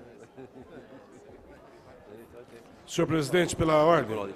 Pela ordem, vereador doutor Cirilo. A Comissão de Constituição e Legalidade abre mão do restante do tempo e indica o presidente da Comissão de Meio Ambiente, vereador Luiz Carlos Rossini, para exarar o parecer. Vereador, doutor, vereador Luiz Rossini tem a tribuna para exarar o parecer. Senhor presidente, a Comissão de Constituição e Legalidade, por unanimidade, entendendo que o projeto é legal, mas acima de tudo, compreendendo a importância da instituição do programa de pagamento por serviços ambientais, declara exar parecer favorável ao projeto, senhor com, presidente. Com o parecer favorável, entra em discussão. Não havendo vereadores a discutirem em votação, favoráveis permaneçam como estão. Está aprovado o projeto. Incluído na pauta requerimento de urgência 2247-14, devidamente aprovado item 6, primeira discussão e votação do projeto de lei 287-14, processo 217-664 de autoria do Executivo Municipal, que institui a política municipal de educação ambiental no município de Campinas e dá outras providências. Convoco a Comissão de Constituição e Legalidade para exarar o parecer. Doutor Luiz Cirilo. O item 6. Senhor presidente, pela ordem. Pela ordem, vereador. A comissão já, já fez análise desse projeto no período da tarde e indica o vereador Luiz Carlos Rossini, que é o presidente do Meio Ambiente nesse biênio aqui da, da comissão. Que, aliás, está fazendo um belo trabalho no que diz respeito à sustentabilidade. Vereador Luiz Rossini tem a tribuna para exarar o parecer. Senhor presidente, a comissão, por unanimidade, também exara parecer favorável ao projeto de lei do Executivo que institui a política municipal de educação ambiental no município de Campinas e dá outras providências. Obrigado, Vou vereador. considerar importante instituir um marco legal e um novo momento para desenvolvimento dessas ações na cidade. Muito importante. Parecer favorável.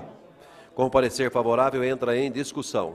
Não havendo vereadores a discutir em votação, favoráveis permaneçam como estão aprovado. Incluído na pauta, nos termos do artigo 144 do Regimento Interno, item 7, primeira discussão e votação do projeto de lei complementar 22/14, processo 216.679, de autoria do Executivo Municipal que autoriza o Poder Executivo a alienar mediante livre concorrência lote de terreno de propriedade da municipalidade situado no bairro Jardim Pampulha, em Campinas, e da outras providências. Parecer da Comissão de Constituição e Legalidade favorável. Com parecer favorável, entra em discussão. Não há vereadores a discutir em votação. Favoráveis dirão sim, contrários não.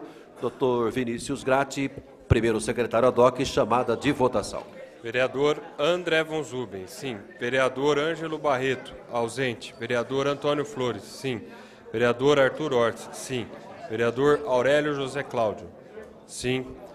Vereador Campos Filho, presidente, não vota. Vereador Carlão do PT, ausente. Vereador Carlinhos Camelô, sim. Vereador Carmo Luiz, ausente. Vereador Cid Ferreira, sim. Vereador Sidão Santos, sim. Vereador Edson Ribeiro, sim. Vereador Gilberto Vermelho, sim. Vereador Gesiel Silva, sim. Vereador Jorge da Farmácia, ausente. Vereador Jorge Schneider, ausente. Vereador Luiz Cirilo, sim. Vereador Luiz Lauro Filho, ausente. Vereador Luiz Rossini, sim. Vereador Marcos Bernardelli, sim. Vereadora Neuza do São João, sim. Vereador Pastor Elias Azevedo, sim. Vereador Paulo Búfalo, sim. Vereador Paulo Galtério, ausente. Vereador Pedro Tourinho, Aus... Sim. Vereador Professor Alberto. Sim. Vereador Professor Ronaldo. Sim. Vereador Rafa Zimbaldi. Sim. Vereador Roberto Alves. Sim. Vereador Tiago Ferrari ausente. Vereador Tico Costa. Sim. Vereador Vinícius Gratti. Sim. E vereador José Carlos. Sim. 24 vereadores votaram favoráveis à matéria. senhor Com 24 votos favoráveis, está aprovado o projeto. Incluído na pauta nos termos do artigo 144 do Regimento Interno, item 8, primeira discussão e votação do projeto de lei 424-13, processo 215-080, de autoria do Executivo Municipal, que desincorpora da classe de bens públicos dominicais e transfere para a classe de bens públicos de uso comum do povo a área situada no loteamento Vila Paraíso. Parecer da Comissão de Constituição e Legalidade, favorável. Com o parecer favorável, entra em discussão. Não há vereadores a discutir em votação. Favoráveis irão sim, contrários não. Chamada de votação. André Von Zuben, vereador, sim. Vereador Ângelo Barreto, ausente. Vereador Antônio Flores, sim. Vereador Arthur Orsi, sim. Vereador Aurélio Cláudio, sim. Vereador Campos Filho, presidente, não vota. Vereador Carlão do PT, ausente. Vereador Carlinhos Camelô, sim. Vereador Carmo Luiz, ausente. Vereador Cid Ferreira, sim.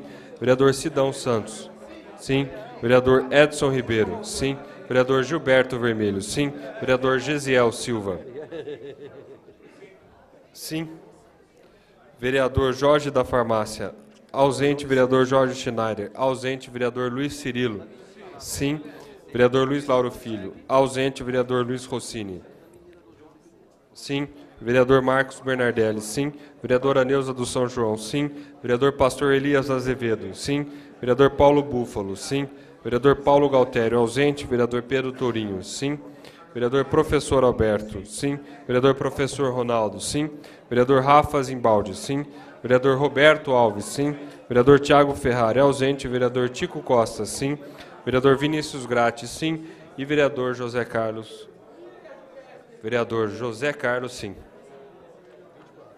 24 vereadores votaram favoráveis à matéria, senhor presidente. Com 24 votos favoráveis, está aprovado o projeto. Incluído na pauta nos termos do artigo 144 do Regimento Interno, item 9, primeira discussão e votação do projeto de lei 141-14, processo 216-689, de autoria do Executivo Municipal, que acrescenta inciso ao artigo 3 da Lei 5.885, de 17 de dezembro de 1987, que dispõe sobre a proteção e preservação do patrimônio histórico, artístico, estético, arquitetônico, arqueológico, documental e ambiental do município de Campinas e da outras providências.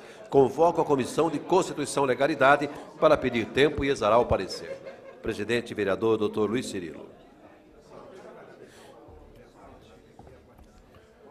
Senhor presidente, a comissão requer o prazo de cinco minutos. Sessão suspensa por até cinco minutos.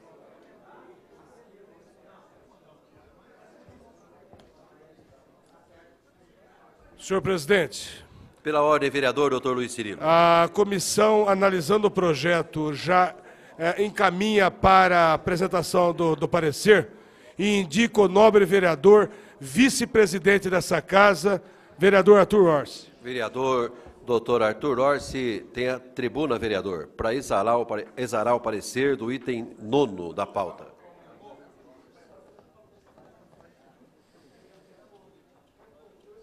Parabéns aí, viu, André, pela mobilização, hein? Viu? É do. Eu acho que. Senhor presidente, é, projeto de lei de autoria do Executivo. A gente sempre fica meio com o pé atrás, né, senhor presidente. Projeto de lei 141-2014. Parecer da Comissão de Constituição é favorável por unanimidade, senhor presidente. Com o parecer favorável por unanimidade, obrigado, vereador Dr. Arthur Orsi. Entra em discussão. Não havendo vereadores a discutir em votação, favoráveis dirão sim, contrários não. Chamada de votação. Vereador André Von Zuben, sim. Vereador Ângelo Barreto, ausente. Vereador Antônio Flores, sim. Vereador Arthur Orsi, sim. Vereador Aurélio Cláudio, sim.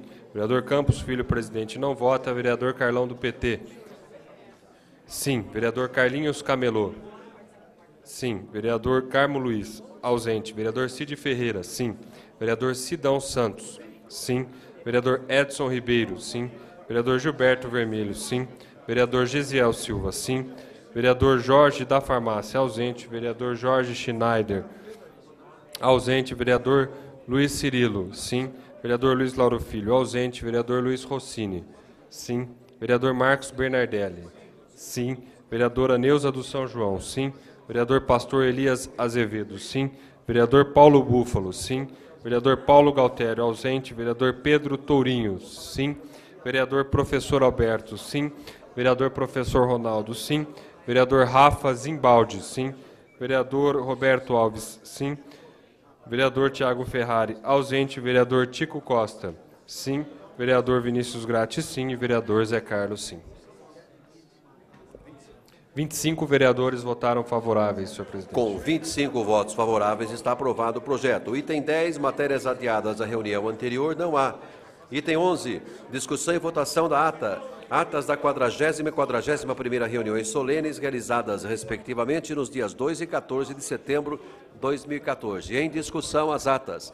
Não havendo vereador a discutir, em votação. Favoráveis permaneçam como estão. Aprovado. Senhor presidente, pela ordem. Pela ordem, vereador doutor Luiz Cirilo. Eu quero deixar registrado aqui na casa, nos anais dessa, dessa respeitada Casa de Leis do município de Campinas, que tive informação na tarde de hoje, não sei há quanto tempo, mas o mais importante que no presente dia de hoje, dia 29 de outubro de 2014, eu tomei conhecimento que dentro do complexo hospitalar é, doutor Edivaldo Orsi, é, cujo nome foi aprovado por essa casa, do ex-vereador e ex-prefeito dessa casa, é, prefeito Tucano, pai do nosso vice-presidente, já se encontram os crachás das pessoas que trabalham na recepção deste respeitado hospital com o nome do Dr. Edivaldo Orsi. Eu fiquei muito satisfeito, eh, senhor presidente, haja vista que foi eu que apresentei esse decreto legislativo, essa casa aprovou, o prefeito sancionou e hoje o município já reconhece o Hospital Doutor, Hospital Ouro Verde como complexo hospitalar Dr. Edivaldo Orsi. Muito bem, bem lembrado, vereador. Nada mais justo, né? como diz o ditado, pelo fruto se conhece o pé. Né? Então, o fruto deixado aqui, o doutor Arthur Orsi, esse grande advogado e também grande vereador aqui desse Poder Legislativo. Parabéns e muito oportuna a lembrança do vereador doutor Luiz Cirilo. O item 12, matérias lidas do expediente e sujeitas à deliberação do plenário.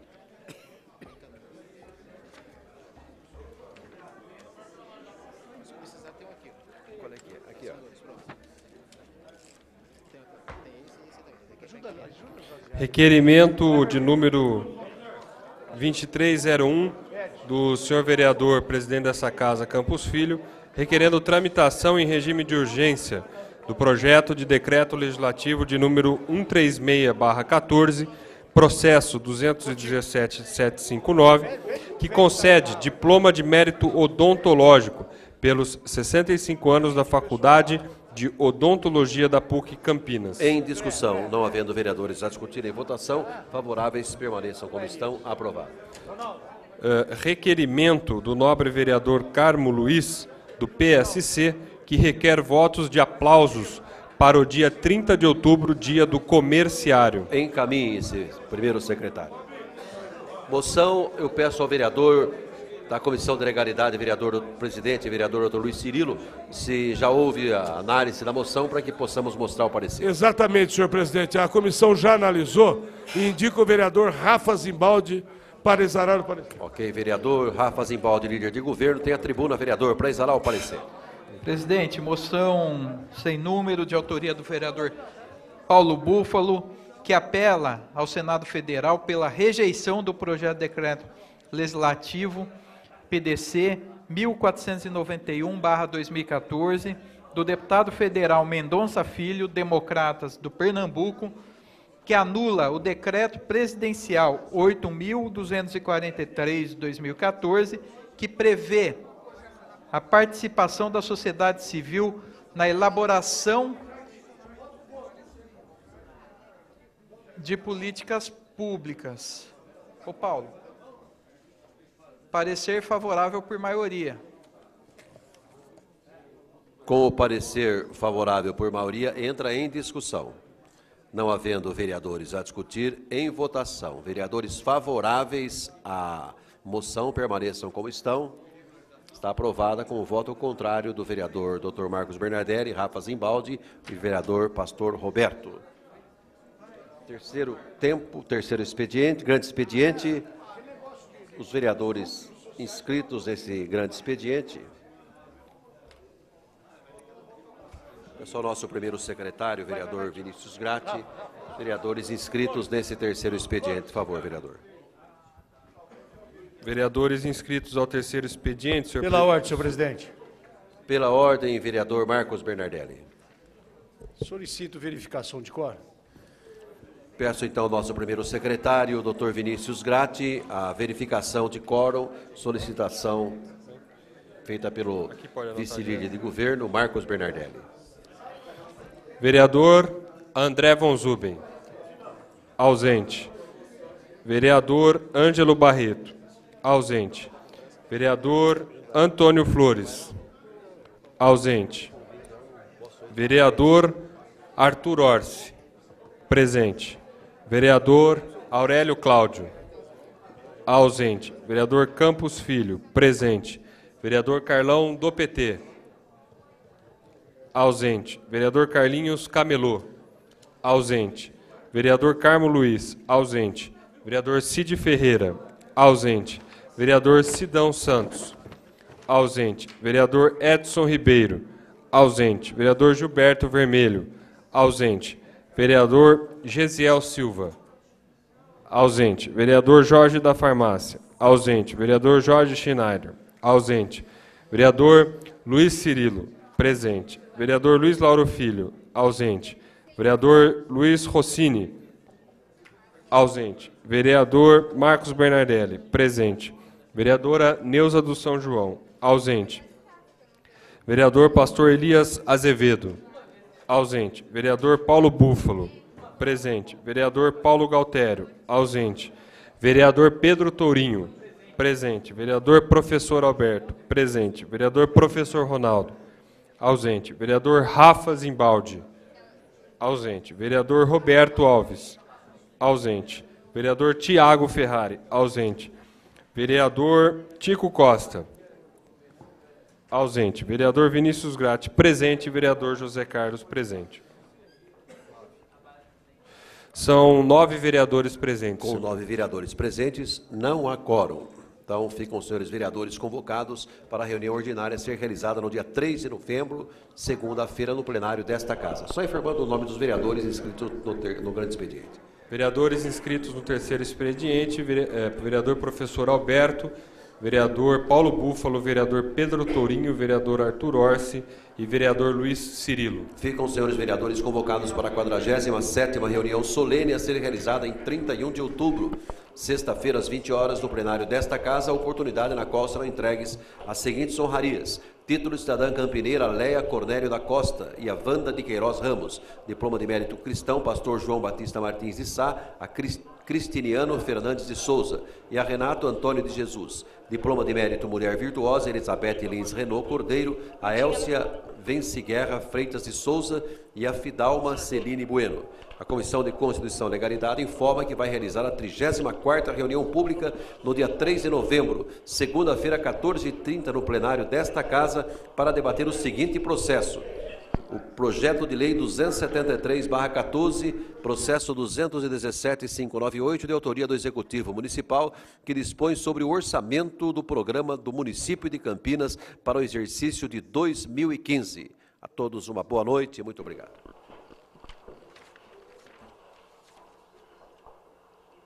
Com o encerramento da sessão, nós lembramos que amanhã, a partir das 9 horas da manhã, ao vivo, acontece um fórum internacional para discutir patrimônio arquitetônico entre Brasil e Portugal. Evento esse que será presidido pelo vereador André Von Zuben, que você pode vir pessoalmente acompanhar aqui no plenário da Câmara. E se não tiver oportunidade, a transmissão acontece pelo nosso site campinas.sp.leg.br. Nele você também confere toda a programação do que acontecerá ao longo do dia. Evento esse que vai até às quatro e meia da tarde e que depois você pode conferir também no nosso canal no YouTube TV Câmara Campinas. Agradecemos a sua companhia. Uma boa noite para você.